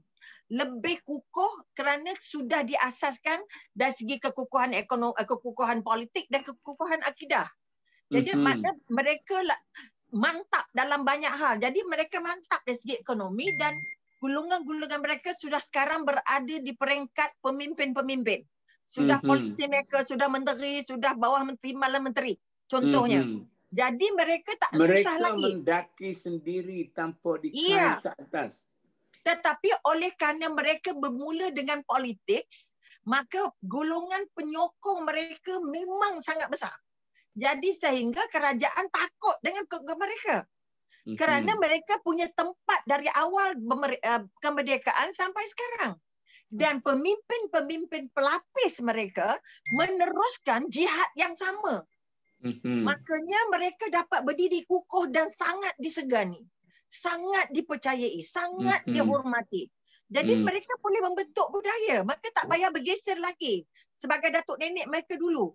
Kerana kepersamaan-persamaan pada mereka sudah sangat jelas. Menang pada mereka, kekuatan pada mereka sudah tergenggam. Mm-hmm. Ekonominya, sosialnya, latar belakangnya, undinya especially. Sebut je dua-dua persatuan ini, semua pemimpin takut. Yeah. Semua yang bertanding takut kerana mereka adalah kuasa penentu besar. Tapi hmm. NGO di Malaysia tak ada begitu. Kita ha. tidak ada bermula yang dengan ini yang saya bangkitkan tadi perlu ada satu payung besar. Ah, sebab itu Nada Ulama mereka sudah memang jadi salah satu payung besar. Hmm. Kita ni belum jadinya. Nak hmm. besar tak cukup kembang mati lah. Dan Pak Sukat terima kasih lah. Jangan. Ya Allah. Ialah pengalaman dalam belia bertambah. Ialah betul lah betul betul tu ah betul tu. Nampak nak kembang sikit jantas. Nampak nak kembang sikit jantas. Tak letih ke kita? ah, siapa sokong naik, siapa tak sokong mati walaupun orang, dia bijak. Orang Kelantan, orang Kelantan kata cah keting, cah keting. cah keting tu maksud apa? Macam mana, Prof? Dia jantas. Dia cantas macam ah, cantas lah. Tek tekong kaki, tek kita kata. Oh, okay. yeah, Maknanya yeah, yeah. selag tapi tidak di sana. Di sana mereka dorong semua yang muda untuk pegang prinsip yang sama, berjuang atas dasar yang sama sebab mereka pegang dua-dua. Pegang politik hmm. dan pegang agama sebagai teras.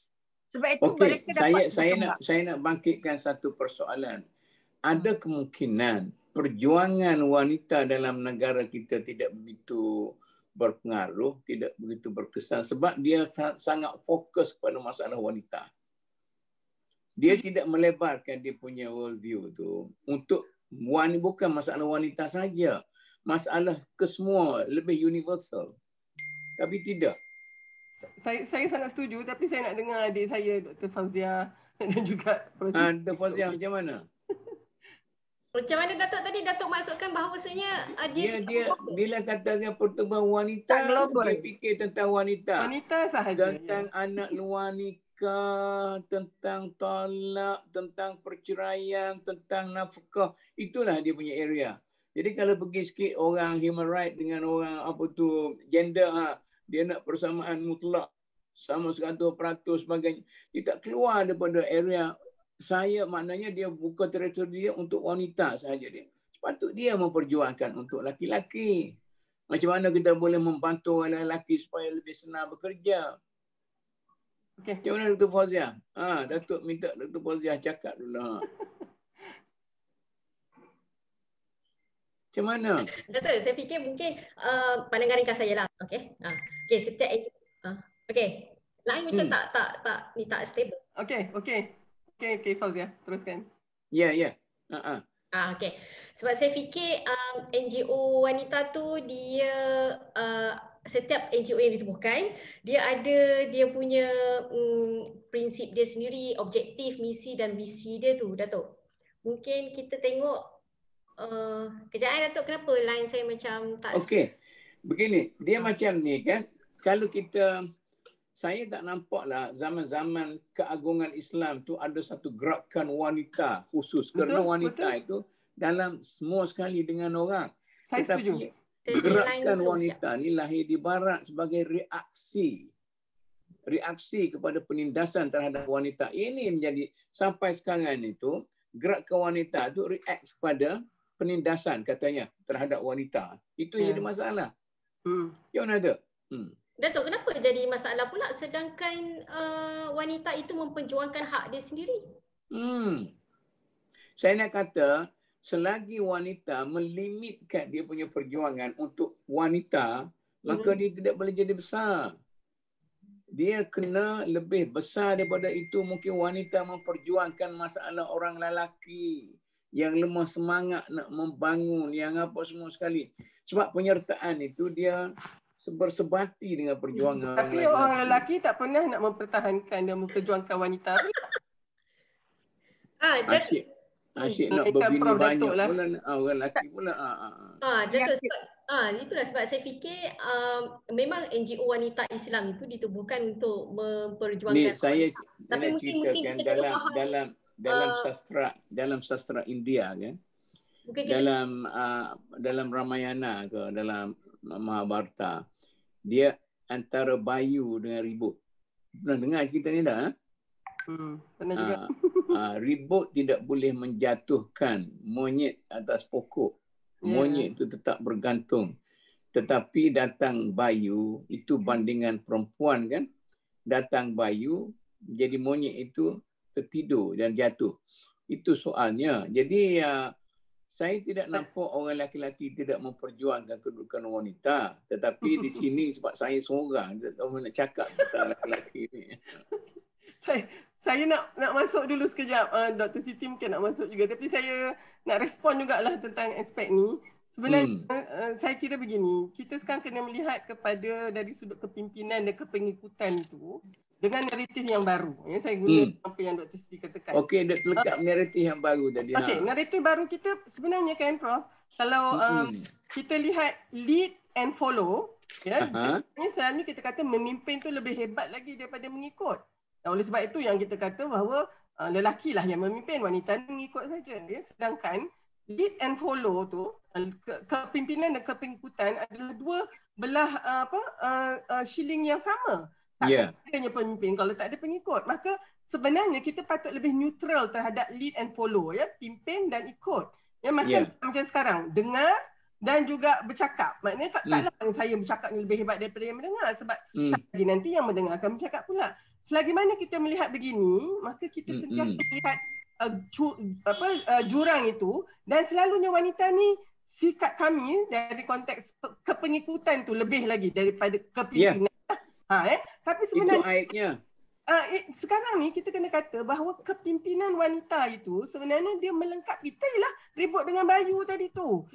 Boleh tak hari ini maknanya lelaki ya dan juga wanita tidak lagi melihat kepada kepimpinan wanita itu sebagai satu yang lemah, ya satu yang second class ya kita perlukan ciri-ciri wanita yang empati, ya, yang mm-hmm. dengar itu sama hebatnya dengan yang mungkin agresif, yang lebih lebih. Jadi dalam konteks ini kan uh, Prof saya nampak ya wanita kena mengambil tempat untuk menjadi pemimpin dalam masyarakat yang disegani dan juga didengar. Maknanya orang lelaki dia memang nak ikut ni sebab orang wanita ni memang mempunyai capacity. Tapi hari ini kalau kita lihat ada pemimpin wanita contohnya dia dikatakan tak boleh begitu, tak boleh begini. Ya, kalau misalnya dia tegas sikit, ah, itu nak menopause lah tu. Ah, kalau misalnya dia menangis, ah, maknanya dia tu terlalu emosi. So kita sebenarnya kena berlaku lebih adil. Tapi dalam masa yang sama, Prof, bukan saja yeah. bila lelaki memberi peluang kepada wanita, wanita pun kena ambil peluang tu. Kita kena ada di dalam meja-meja perbincangan dan pembuatan keputusan. Ya maknanya janganlah hmm. atas saya tak payahlah saya ni tak ada tak tak yeah. oh, supaya idea kita ya dan juga kita punya ya um, sudut pandang akan dilihat juga. Sebab itulah yang menjadikan tentu sekali ada ada hikmah yang besar kenapa manusia wanita ini diciptakan 50% daripada populasi. Dan jangan lupa dia pula yang melahirkan yang 50% lagi tu. Maka wanita itu sebenarnya adalah the whole population saya rasa nanti saya ceritakan pengalaman hmm. saya di Akademi Islam ni Dr. Siti. Jadi jadi apa tu satu uh, saksi. Belum saya jadi pengarah Akademi Islam mana wanita boleh jadi apa tu atau tak ada. Tapi kalau dalam kelas saya lebih suka lantik budak perempuan. Jadi ketua hmm. kelas sebab dia lebih smart, lebih taat apa semua sekali. Oh tak apalah bagi orang lelaki lah kita orang lelaki banyak lagi kita apa semua sekali. Itu standard wanita kita. Ya. Yeah. Betul tak? Okey, maka kalau kita jadi pemimpin, kita memang kena memper, memperjuangkan ya semua isu semua orang, baik lelaki, baik perempuan, yes. baik tua, baik muda. Kita Mm-mm. lihat sebagai pemimpin, bukan lagi pemimpin wanita, kita adalah pemimpin masyarakat. Tapi kan yeah. untuk nak nak menghasilkan ya satu keberanian itu bukan mudah. Dia dia terus terang saya katakan, sebab dalam masyarakat kita, dalam diri kita sendiri, kita masih lagi mempunyai banyak sangat orang kata apa uh, uh, uh, was-was dan dengan sangkaan yang kata tak boleh kot kan Dr. Rubia. Jadi kita hmm. memang kena memang kena mengatakan per, per, apa perubahan hmm. ini pula dengan saya. Hmm. Ah, maka barulah kita dan dan kita bukannya nak jadi pemimpin wanita yang jadi marah-marah orang lelaki gitu tak nak. Kita nak Lain. jadi pemimpin yang dihormati. Maknanya yeah. dia dicakapnya didengar. Dan hmm. sebelum apa-apa keputusan, eh nak dengar dululah apa Dr. Fauziah cakap, apa yang Prof. Mandia, Dr. Siti cakap. Sebab dirasakan bahawa pandangan kita tu memang sangat-sangat penting. Hmm. Sangat memberikan nilai tambah kepada sebarang keputusan. Allahu'alam. Okey. Siapa dia nak sambung lagi ni? Gini, saya nak nambah sikit je, Prof. Ha. Okay, saya Kalau kita berdasarkan oh, apa yang sudah ni, ha. apa yang sudah diluahkan, okay? Kita semua wanita dalam panel ini merasakan perlu ada ruang memimpin yang lebih kurang sama dengan lelaki. Peluang. Katalah hari Mana ini. peluang tu tidak diberi? Tidak ada pun kalau tengok calon calon wakil rakyat saja letih. Saya nak saya polisi. nak bagi satu teori social science psikologi sosial dia kata pemimpin kepimpinan itu adalah fungsi sosial sesiapa yang lebih berkesan interaksinya dalam masyarakat dia akan jadi pemimpin tapi jadi saya tengok macam di Indonesia sekarang ni wanita sudah merebut keadaan sampai dia boleh jadi governor-governor yang sangat berjaya. Tapi dia macam kita di Malaysia ni kita minta kota lah nak berapa sekian, sekian nak wakil rakyat, nak menteri. Kita duk minta daripada laki-laki. Orang laki-laki ni makin diminta makin kedekut. Itulah tandanya bahawa mentaliti laki-laki belum lagi sampai nak menghargai kemampuan, kebolehan, kecerdikan, kecerdasan wanita untuk sama-sama mengurus negara. Inilah barrier paling besar. Tuan Mahathir kata, Tuan Mahathir kata dalam buku dia dulu, kalau kita nak orang tak bagi, kita rebut. Itulah kita kata rebut pun dalam politik nak rebut ni tak kena gaya kita jadi sama jadi kita kena makan atau kita dimakan perlu sama ada kita jadi kawan atau kita jadi lawan. Ya. Wanita kalau boleh tak nak sampai ke situ. Yeah. Kalau benar-benar masyarakat ini sangat menghormati kemampuan wanita. Kita kata 70% anak kampus adalah wanita, 70% yang lulus dapat ijazah hebat-hebat hmm. semua wanita. Hmm. Tapi hilang dalam masyarakat. Sebab apa? Sebab orang laki-laki tak ada orang laki-laki, orang perempuan pandai naik. Sebab itu kesempatan-kesempatan tu sangat sempit pengalaman bertanding ini bagus peringkat belia je. Peringkat peringkat negeri masih ramai ya wanita. Masuk peringkat kebangsaan segala zanah. Oh tak ada yang wanita boleh bertanding untuk biru wanita aja. Lain tak boleh. Oh teknya. Ah. Pasal apa kan? Maka hmm. sebab hmm. itu kita kata sekali lagi. Kita bukan nak minta simpati dari lelaki. Tetapi kita nak minta sebab kita sudah ada kemampuan.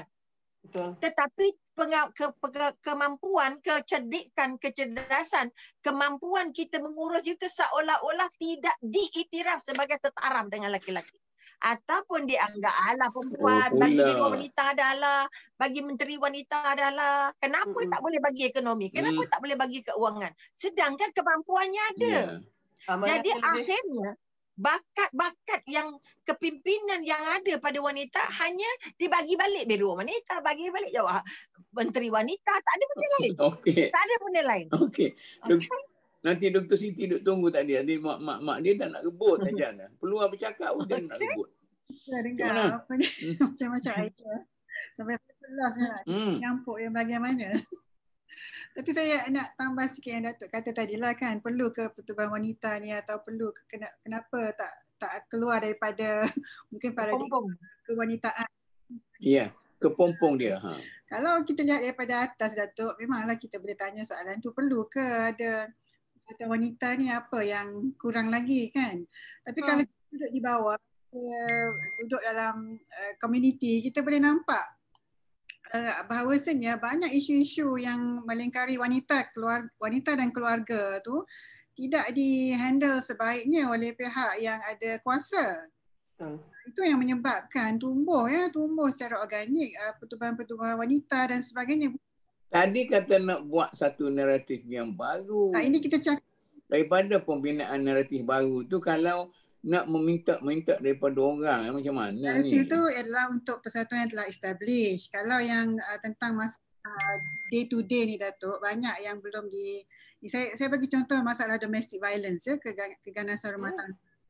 Uh, saya dengar sentiasa ada masalah tu. Bila nak nak lapor polis, polis kata oh, ni masalah rumah tangga. Ah, Baliklah. Campur tangan. Ah, pergi pergi sini tak nak campur tangan bila gini-gini. Oh ini private Hmm. apa ni meng, mengapa merosakkan reputasi suami dan sebagainya. So apa apa solution kepada wanita tu? Jadi bila kita Belajar kuntau. apa dia? Belajar kuntau, silat, boxing. Dalam rumah kalau suami nak tampar kuntau suami. Pasal apa tak boleh? Dah belajar dah tapi kalah kan macam mana. Ha. Jadi sampai bila Malah ke mahkamah pun kita banyak dia kata kalah. Sabarlah. Sabarlah. Ah, Kenapa hmm, mesti orang hmm. perempuan kena sabar? Orang lelaki kena sabar. Okey. ah, jadi Mengapa wanita tidak usahakan diri sampai dia boleh jadi hakim tinggi mahkamah syariah? Dia sampai boleh jadi tak mufti. Jadi bila personality dia sangat menonjol dalam bidang keulamaan, maka orang nak lantik orang lain sebagai mufti orang rasa segan. Ini kita ada ni, Aisyah ada ni. Sayyidina Aisyah ada ni.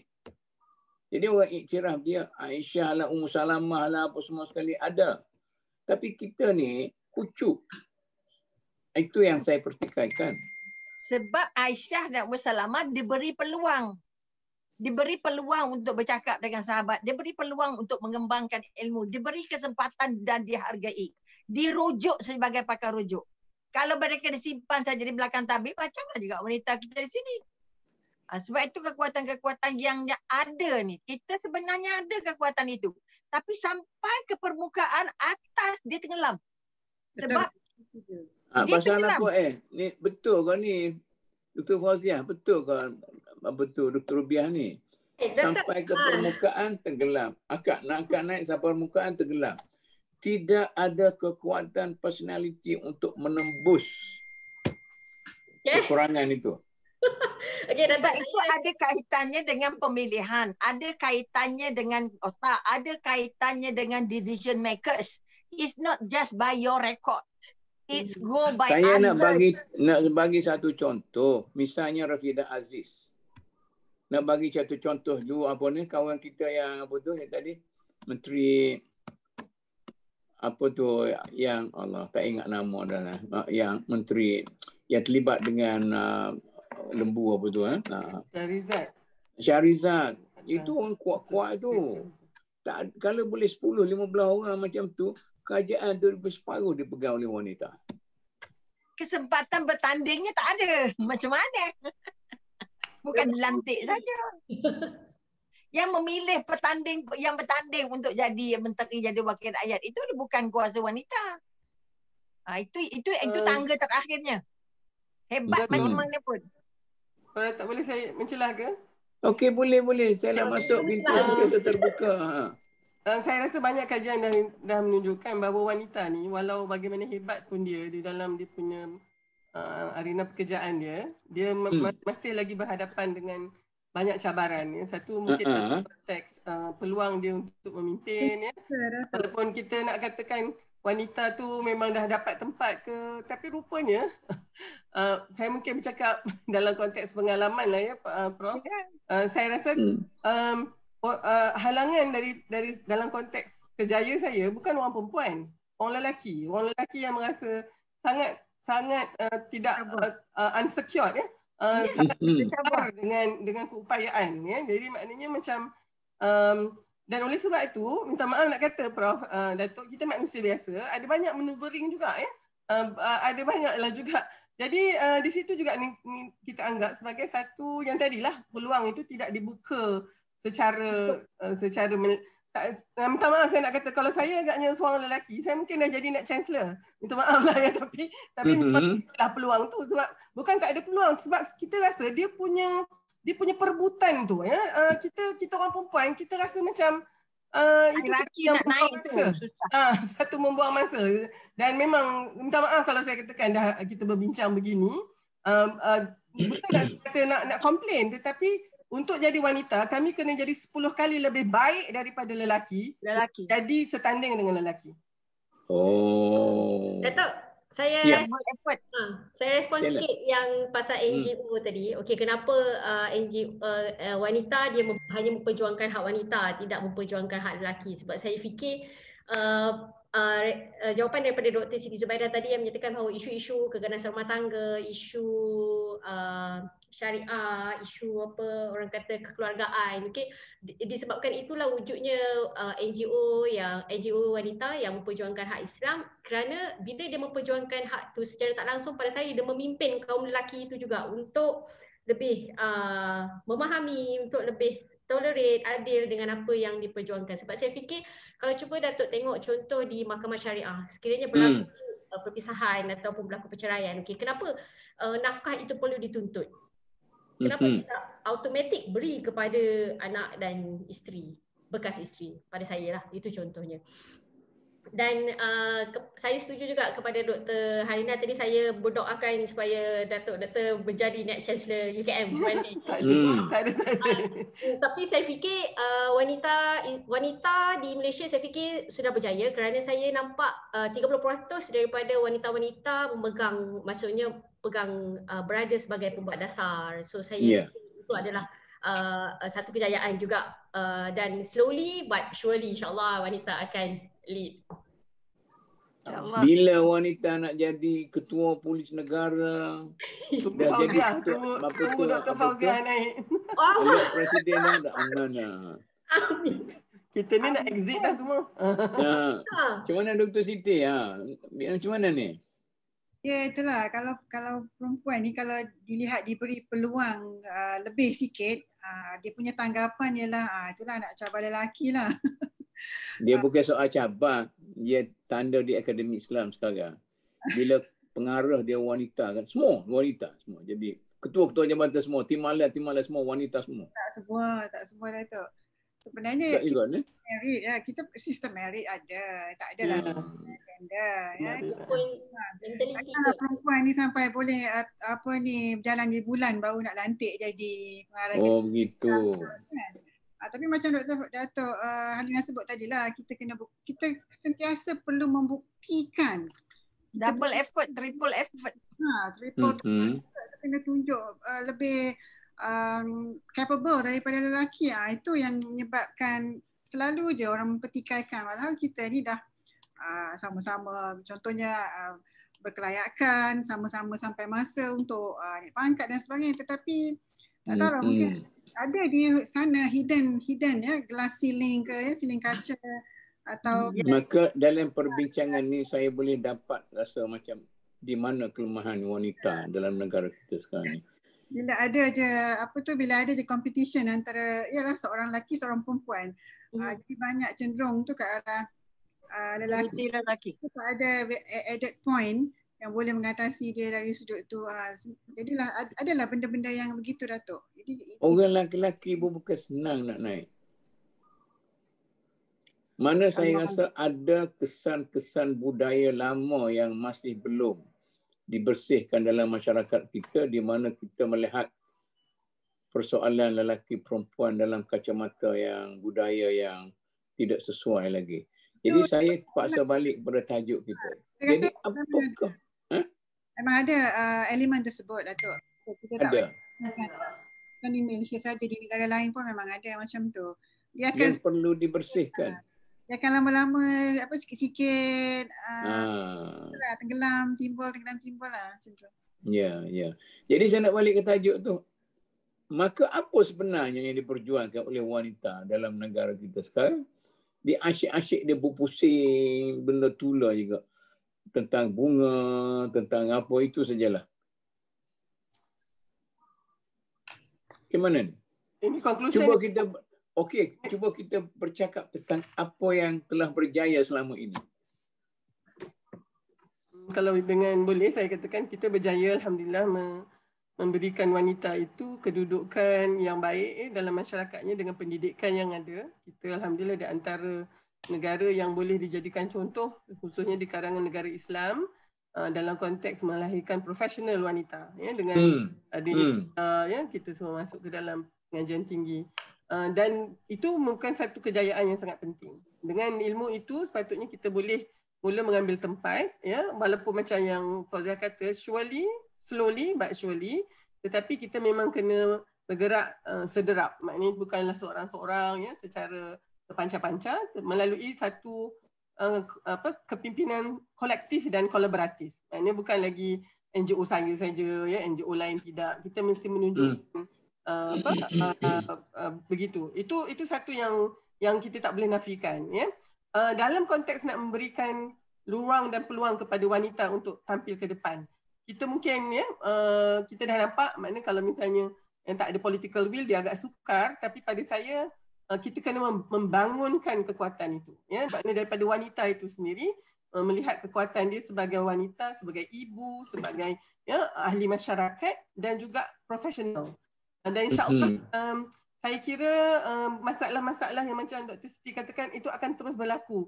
Sebab dia akan menimbulkan konflik juga. Ya, jadi pada saya perjuangan ya yang harus uh, di sini adalah bagaimana wanita itu ya sumbangannya akan diiktiraf ya bagaimana uh, dia bagaimana yang Rasulullah katakan ya wanita itu adalah saudara kandung lelaki. Maka kita akan ya uh, bekerjasama ya untuk membangunkan masyarakat kita. Tapi dia kena bermula dari sudut hubungan di dalam rumah tangga. Ya maknanya kalau misalnya uh, hari ini saya rasa banyak konflik itu apabila berlakunya perubahan ini wanita mula mengambil tempat tetapi mindset uh, masyarakat masih sama. Maka wanita itu macam mana hebatnya pun dia di luar rumahnya dalam contoh kerjaya, balik ke rumah kena masak juga. Dia kena dah begitu. Patutnya di situ patut boleh berlaku satu reversal of role. Maknanya kalau kebetulan suaminya mungkin lebih freelancing, dialah yang mungkin yang menjaga anak dan itu tak tak sepatutnya menjadi apa-apa masalah. Sekiranya Tapi jangan sampai seorang lelaki pula mengandung. Uh, tidaklah yang itu saya sebagai pakar sikit pun saya tahulah memang datuk tak boleh mengandung ya sebabnya tak ada rahim ha, ya hmm. tak ada hmm. ovari hmm. tak boleh ha, jadi jadi kalau uh, uh, insyaallah kita pula buat masa ni pada saya wanita Malaysia menunjukkan keseimbangan itu daripada konteks profesionalnya dia dia berjaya dan keluarga juga alhamdulillah dia berjaya so ini sebenarnya role model yang kita kena ketengahkan untuk dunia melihat bagaimana Islam itu ya membawa wanita mencapai potensi dia. Pada saya itu yang akan saya saya perjuangkan insyaallah. Okey nanti saya cuba buat satu andaian lah. Kelemahan yang ada sekarang ini kerana wanita sendiri lebih fokus kepada kewanitaan dan kekeluargaan. Itu dia limit. Boleh ke kita keluar sikit? Saya nak ulang tadi lah. Boleh keluar sikit daripada kepompong itu misalnya. Boleh Datuk kalau tak kahwin. Uh, oh, tak tak juga. saya tak berapa setuju. teras, teras, uh, teras wanita itu teras. Itu itu tugas teras wanita. Fitrah, fitrah wanita Jadi, tu. Kata, kata. Maknanya kalau nanti, terlepas nanti, yang itu. Nanti Dr. Rubiah kata-kata itu sudah jadi tugas asal wanita memasak di dapur. Tapi kita tengok dalam masyarakat-masyarakat yang maju, dia sama-sama ke atas ke bawah, kiri kanan, lelaki dan lelaki perempuan. Eh? Dia yang mungkin dalam budaya kita kita pelik kalau tengok suaminya buat kopi buat keluar. Budaya baru inilah yang kita yang kita yang cendekiawan wanita-wanita ni nak asuh pada anak-anak. Supaya hmm. kalau ayahnya jadi tuan anaknya jadi sama-sama.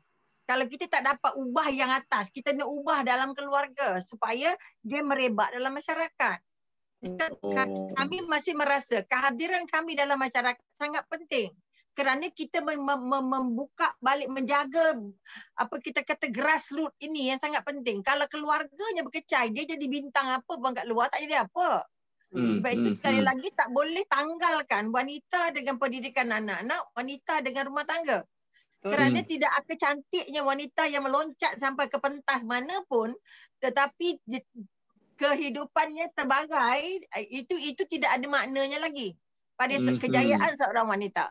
Jadi kalau boleh katalah kalau Datuk kata nak buka ruang mencapai hak-hak lain, kita boleh masukkan dia sebagai sebahagian daripada agenda. Tapi hmm, bukan hmm. sebagai sebahagian daripada main mainstream mainstream of the agenda. Maknanya kita oh. boleh bercakap tentang lelaki, kita boleh bercakap tentang kepimpinan, tetapi sejauh hmm. mana dia dianggap selevel dengan lelaki? Berapa ramai lelaki nak dengar?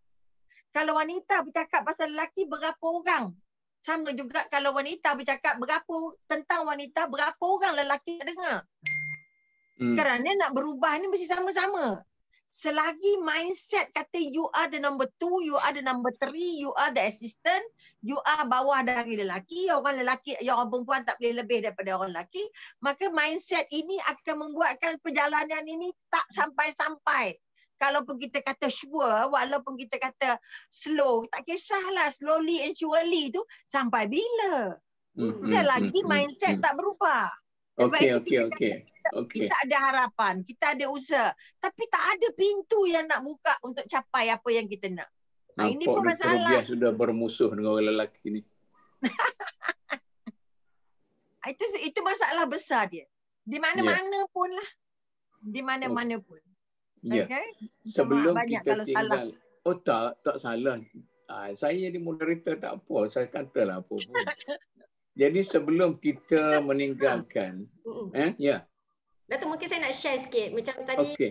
uh, saya bersetujulah bahawasanya kejayaan seseorang wanita atau perempuan itu tidak diukur hanya dalam kerjaya profesional dia saja. Tapi apabila dia berjaya menyeimbangi uh, keluarga uh, dan kejayaan profesional dia, itu yang lebih oh. uh, menunjukkan dia akan rasa dihormati lagi. Sebab macam Datuk ulas tadi bahawasanya uh, kena memasak, kena itu, kena ini. Sedangkan itu hanya pada adatnya saja Datuk. Tetapi pada hukumnya tidak. Hmm. Fahaman hmm. saya lah.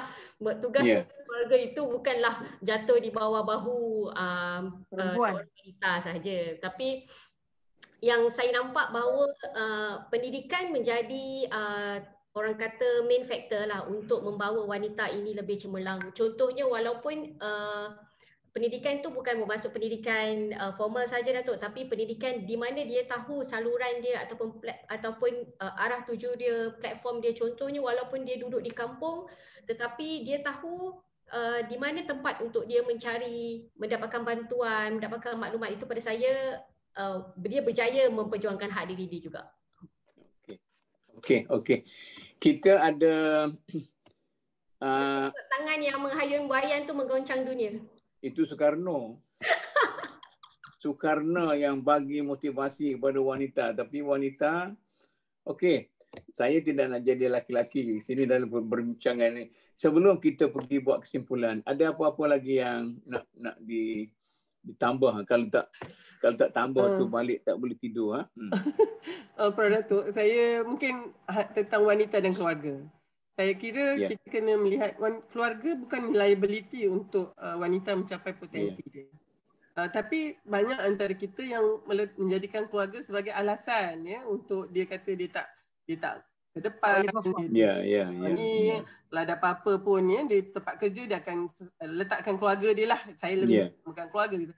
Jadi saya nak ingatkan dan nak warning kepada wanita. Yeah.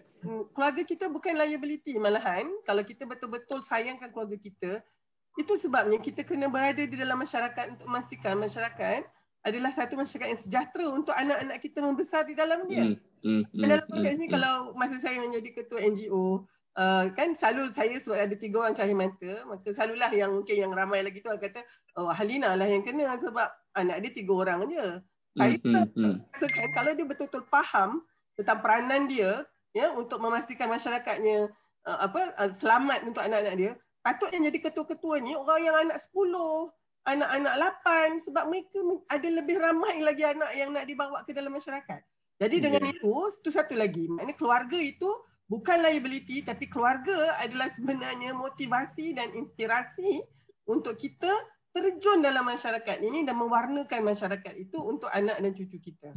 Wallahu yeah. Okey. Okeylah kita uh, mungkin itu itulah yang membezakan di antara perjuangan kita wanita Islam dan Timur nak banding dengan barat ya. Yeah. Barat mungkin dia tidak lihat kekeluargaan ini sebagai satu tanggungjawab dan satu sebahagian daripada kehidupan wanita. Uh, boleh kita, uh, saya nak minta uh, Dr. Robiah lah dulu. Uh, orang senior duduk kiri kanan, orang muda-muda sikit duduk tengah. Ampun. Ya. Uh, senior dari umur je, ilmunya tak banyak. Cuba apa tu buat kesimpulan. Uh. Okay. Pertama kita melihat bahawa selagi wanita ini tidak Uh, tidak sayang dengan kewanitaannya maka Mhm. daya juang untuk mempertahankan kehebatan kemuliaan martabat wanita itu tidak tinggi di jiwa setiap wanita. Sebab Hmm. itu nak masuk NGO ni kira macam menagih lah. Kerana ramai wanita tidak pernah sedar bahawa NGO ni nak selamatkan masyarakat Hmm. untuk anak cucu dia. Sebab itu kita kami ataupun kita kata wanita walaupun dah tua ke walaupun dah pencen ke sayang nak tinggalkan NGO dengan alasan bahawa sekurang-kurangnya dengan kehadiran kita kita buka dapat lagi buka tika untuk anak cucu duduk dengan tenteram. Hmm. Kalau boleh saya menyeru semua wanita harus merasa terpanggil untuk bersama-sama membangun masyarakat, bersama-sama duduk menyediakan masyarakat yang benar-benar selamat untuk anak dan cucunya. Kalau ini jadi impian setiap wanita, maka insya-Allah NGO ke bukan NGO ke dalam kerajaan ke luar kerajaan kan kita akan berjalan di lantai yang sama menyediakan satu hari esok yang benar-benar bahagia untuk anak kita, untuk agamanya, untuk kehidupannya dunia dan akhirat insya-Allah. Terima Okey. kasih banyak. Maaf lebih kurang. Ya, ya. Terima kasih banyaklah. Ha? Okey. Dr. Fauzia, cuba simpulkan. Okay, insyaAllah uh, Datuk sikit sebanyak. Okay, sebelum tu saya ucapkan terima kasih jugalah sekali lagi atas undangan ni dan minta Hmm. maaf kalau ada terlebih terkurang kepada semua penonton live di Datuk. Okey, okey. Ah. Ha, ha, ha. Jangan minta maaf banyak sangat. Hmm.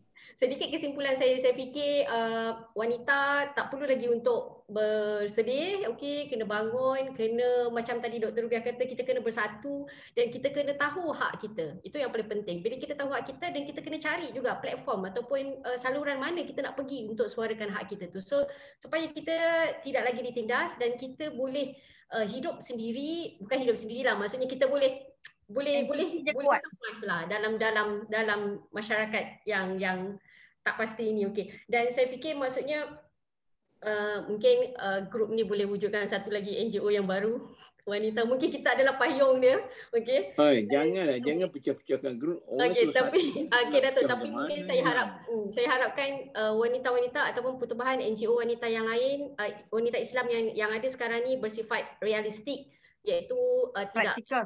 yes dan praktikal untuk uh, mencapai misi dan visi untuk menzahirkan apa yang sepatutnya diberikan kepada wanita dan mungkin kita boleh wujudkan Abid Liu versi perempuan versi wanita Hmm. mungkin lah mungkin mungkin tapi uh, Pasal apa nak tunggu Liu?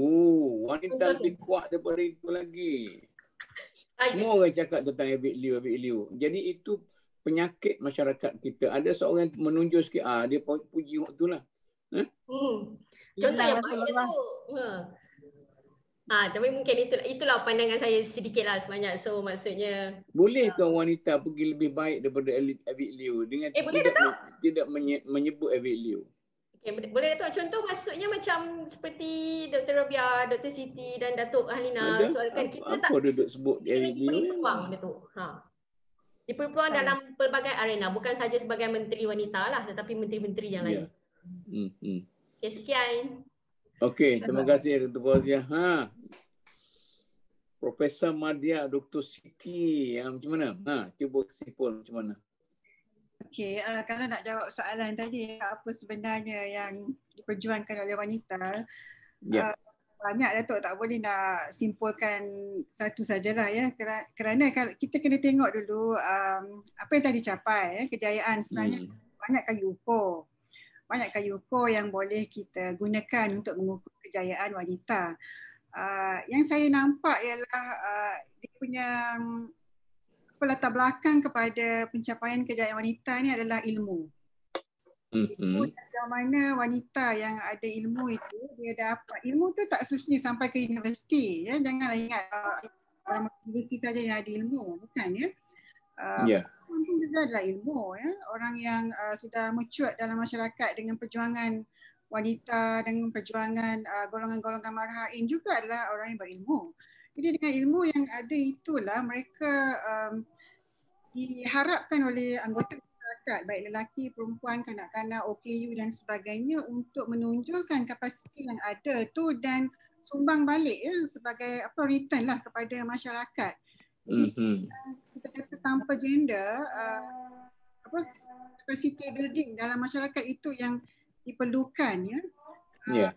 dan kalau Datuk nak kata nak nak keluarkan apa, apa ke, elemen kekeluargaan daripada perjuangan wanita itu susah tak dapat Datuk ya.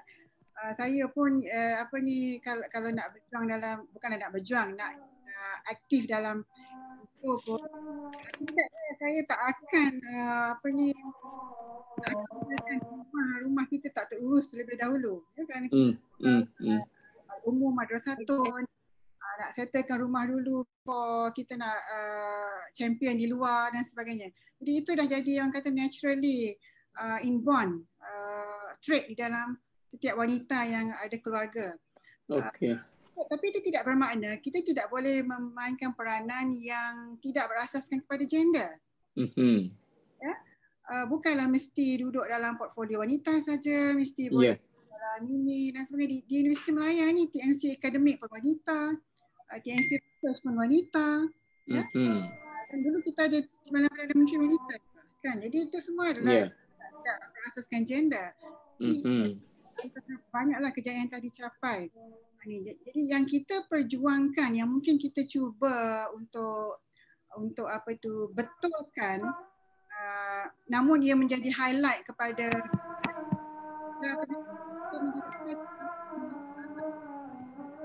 ini salah. Ya.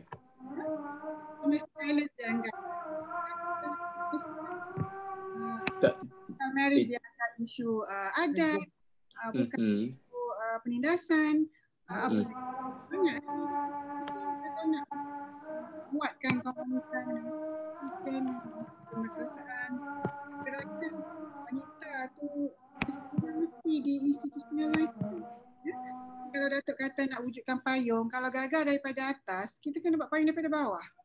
Ya, yeah, okey. Kita mengharapkan payung daripada atas kerana tak tahu mm-hmm. kita.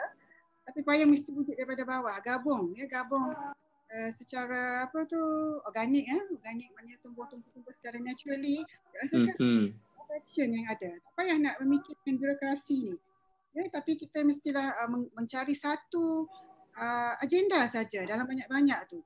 Tanpa yeah. mengorbankan visi objektif masing-masing ya. Tak ada siapa nak campur tangan dengan uh, how we manage our uh, organisation. Kita dengan saja Terima kasih semua. Okey, okey. Uh, terima kasih. Ah, Dr. Fauzia tak tak simpul lagi nah. Dr. Fauzia. Dia ada, ha? Ah. Ah, Datuk. Datuk. Prof, Datuk, ha. Okey. Um, saya rasa uh, saya nak menarik perhatian kepada yang silent majority tadi ni. Uh, mm-hmm. Kita mungkin kena banyakkan lagi uh, usaha advokasi untuk uh, menarik apa orang kata pembabitan majoriti yang senyap ini mm-hmm. dalam konteks melihat kepada penindasan yang memang berlaku realitinya dan juga dalam masa yang sama memastikan peluang untuk wanita memberikan apa sumbangan dalam potensi dia tu ya itu belum lagi mm. atasan yang berkuasa tadi tu untuk saya sendiri uh, prof uh, datuk saya uh, berazamlah ya dengan di masa yang tersisa ini ya yeah. akan cuba Uh, tumpukan perhatian kepada yang di atas tu. Uh, ya, mungkin uh, sementara tu uh, usaha untuk uh, membela nasib orang yang tertindas ini mesti diteruskan. Tapi mm-hmm. tanggungjawab saya sekarang adalah untuk uh, tadilah ya memberikan lebih banyak fokus kepada uh, meminta masyarakat mengubah persepsi dia dan juga uh, lahan-lahan ya uh, makna wanita dan lelaki juga tu makna kepimpinan sekarang bukan hanya untuk wanita saja atau lelaki yeah. saja yeah. uh, kedua-duanya dan kita akan uh, berusahalah mana yang boleh uh, nanti bila di depan uh, Allah dalam urusan uh, apa uh, penghakiman kita nanti fardan fardan seorang-seorang saya harap hmm. saya akan dapat ya uh, diterima oleh Allah Subhanahu taala memberikan apa yang saya boleh dalam konteks apa yang terdaya tapi insyaallah saya yakin semua yang ini adalah untuk memberi kita peluang ya sebenarnya Prof Datuk untuk menambahkan amal dan menambahkan hasanah dunia wal akhirah. Allahu a'lam. Ya. Yeah. Ya. Yeah. Okey, saya uh, mengucapkan terima kasih kepada semua ahli panel kita yang uh, begitu bersungguh-sungguh membincang dan uh, saya juga meminta maaf kalau saya uh, banyak uh, memprovokasi ataupun uh, apa semua sekali supaya kita boleh berbincang dengan lebih eh, lebih kuat. Dan saya rasa satu kesimpulan saya pun boleh boleh menerima saja maknanya uh, kalau dikaitkan uh, perjuangan wanita itu dengan keluarga dan wanita itu sendiri mungkin suatu asas yang bagi wanita sendiri satu keselesaan untuk mereka eh. Jadi nak keluar daripada ruang keluarga itu suatu benda yang tidak dianggap sebagai normal dalam masyarakat kita.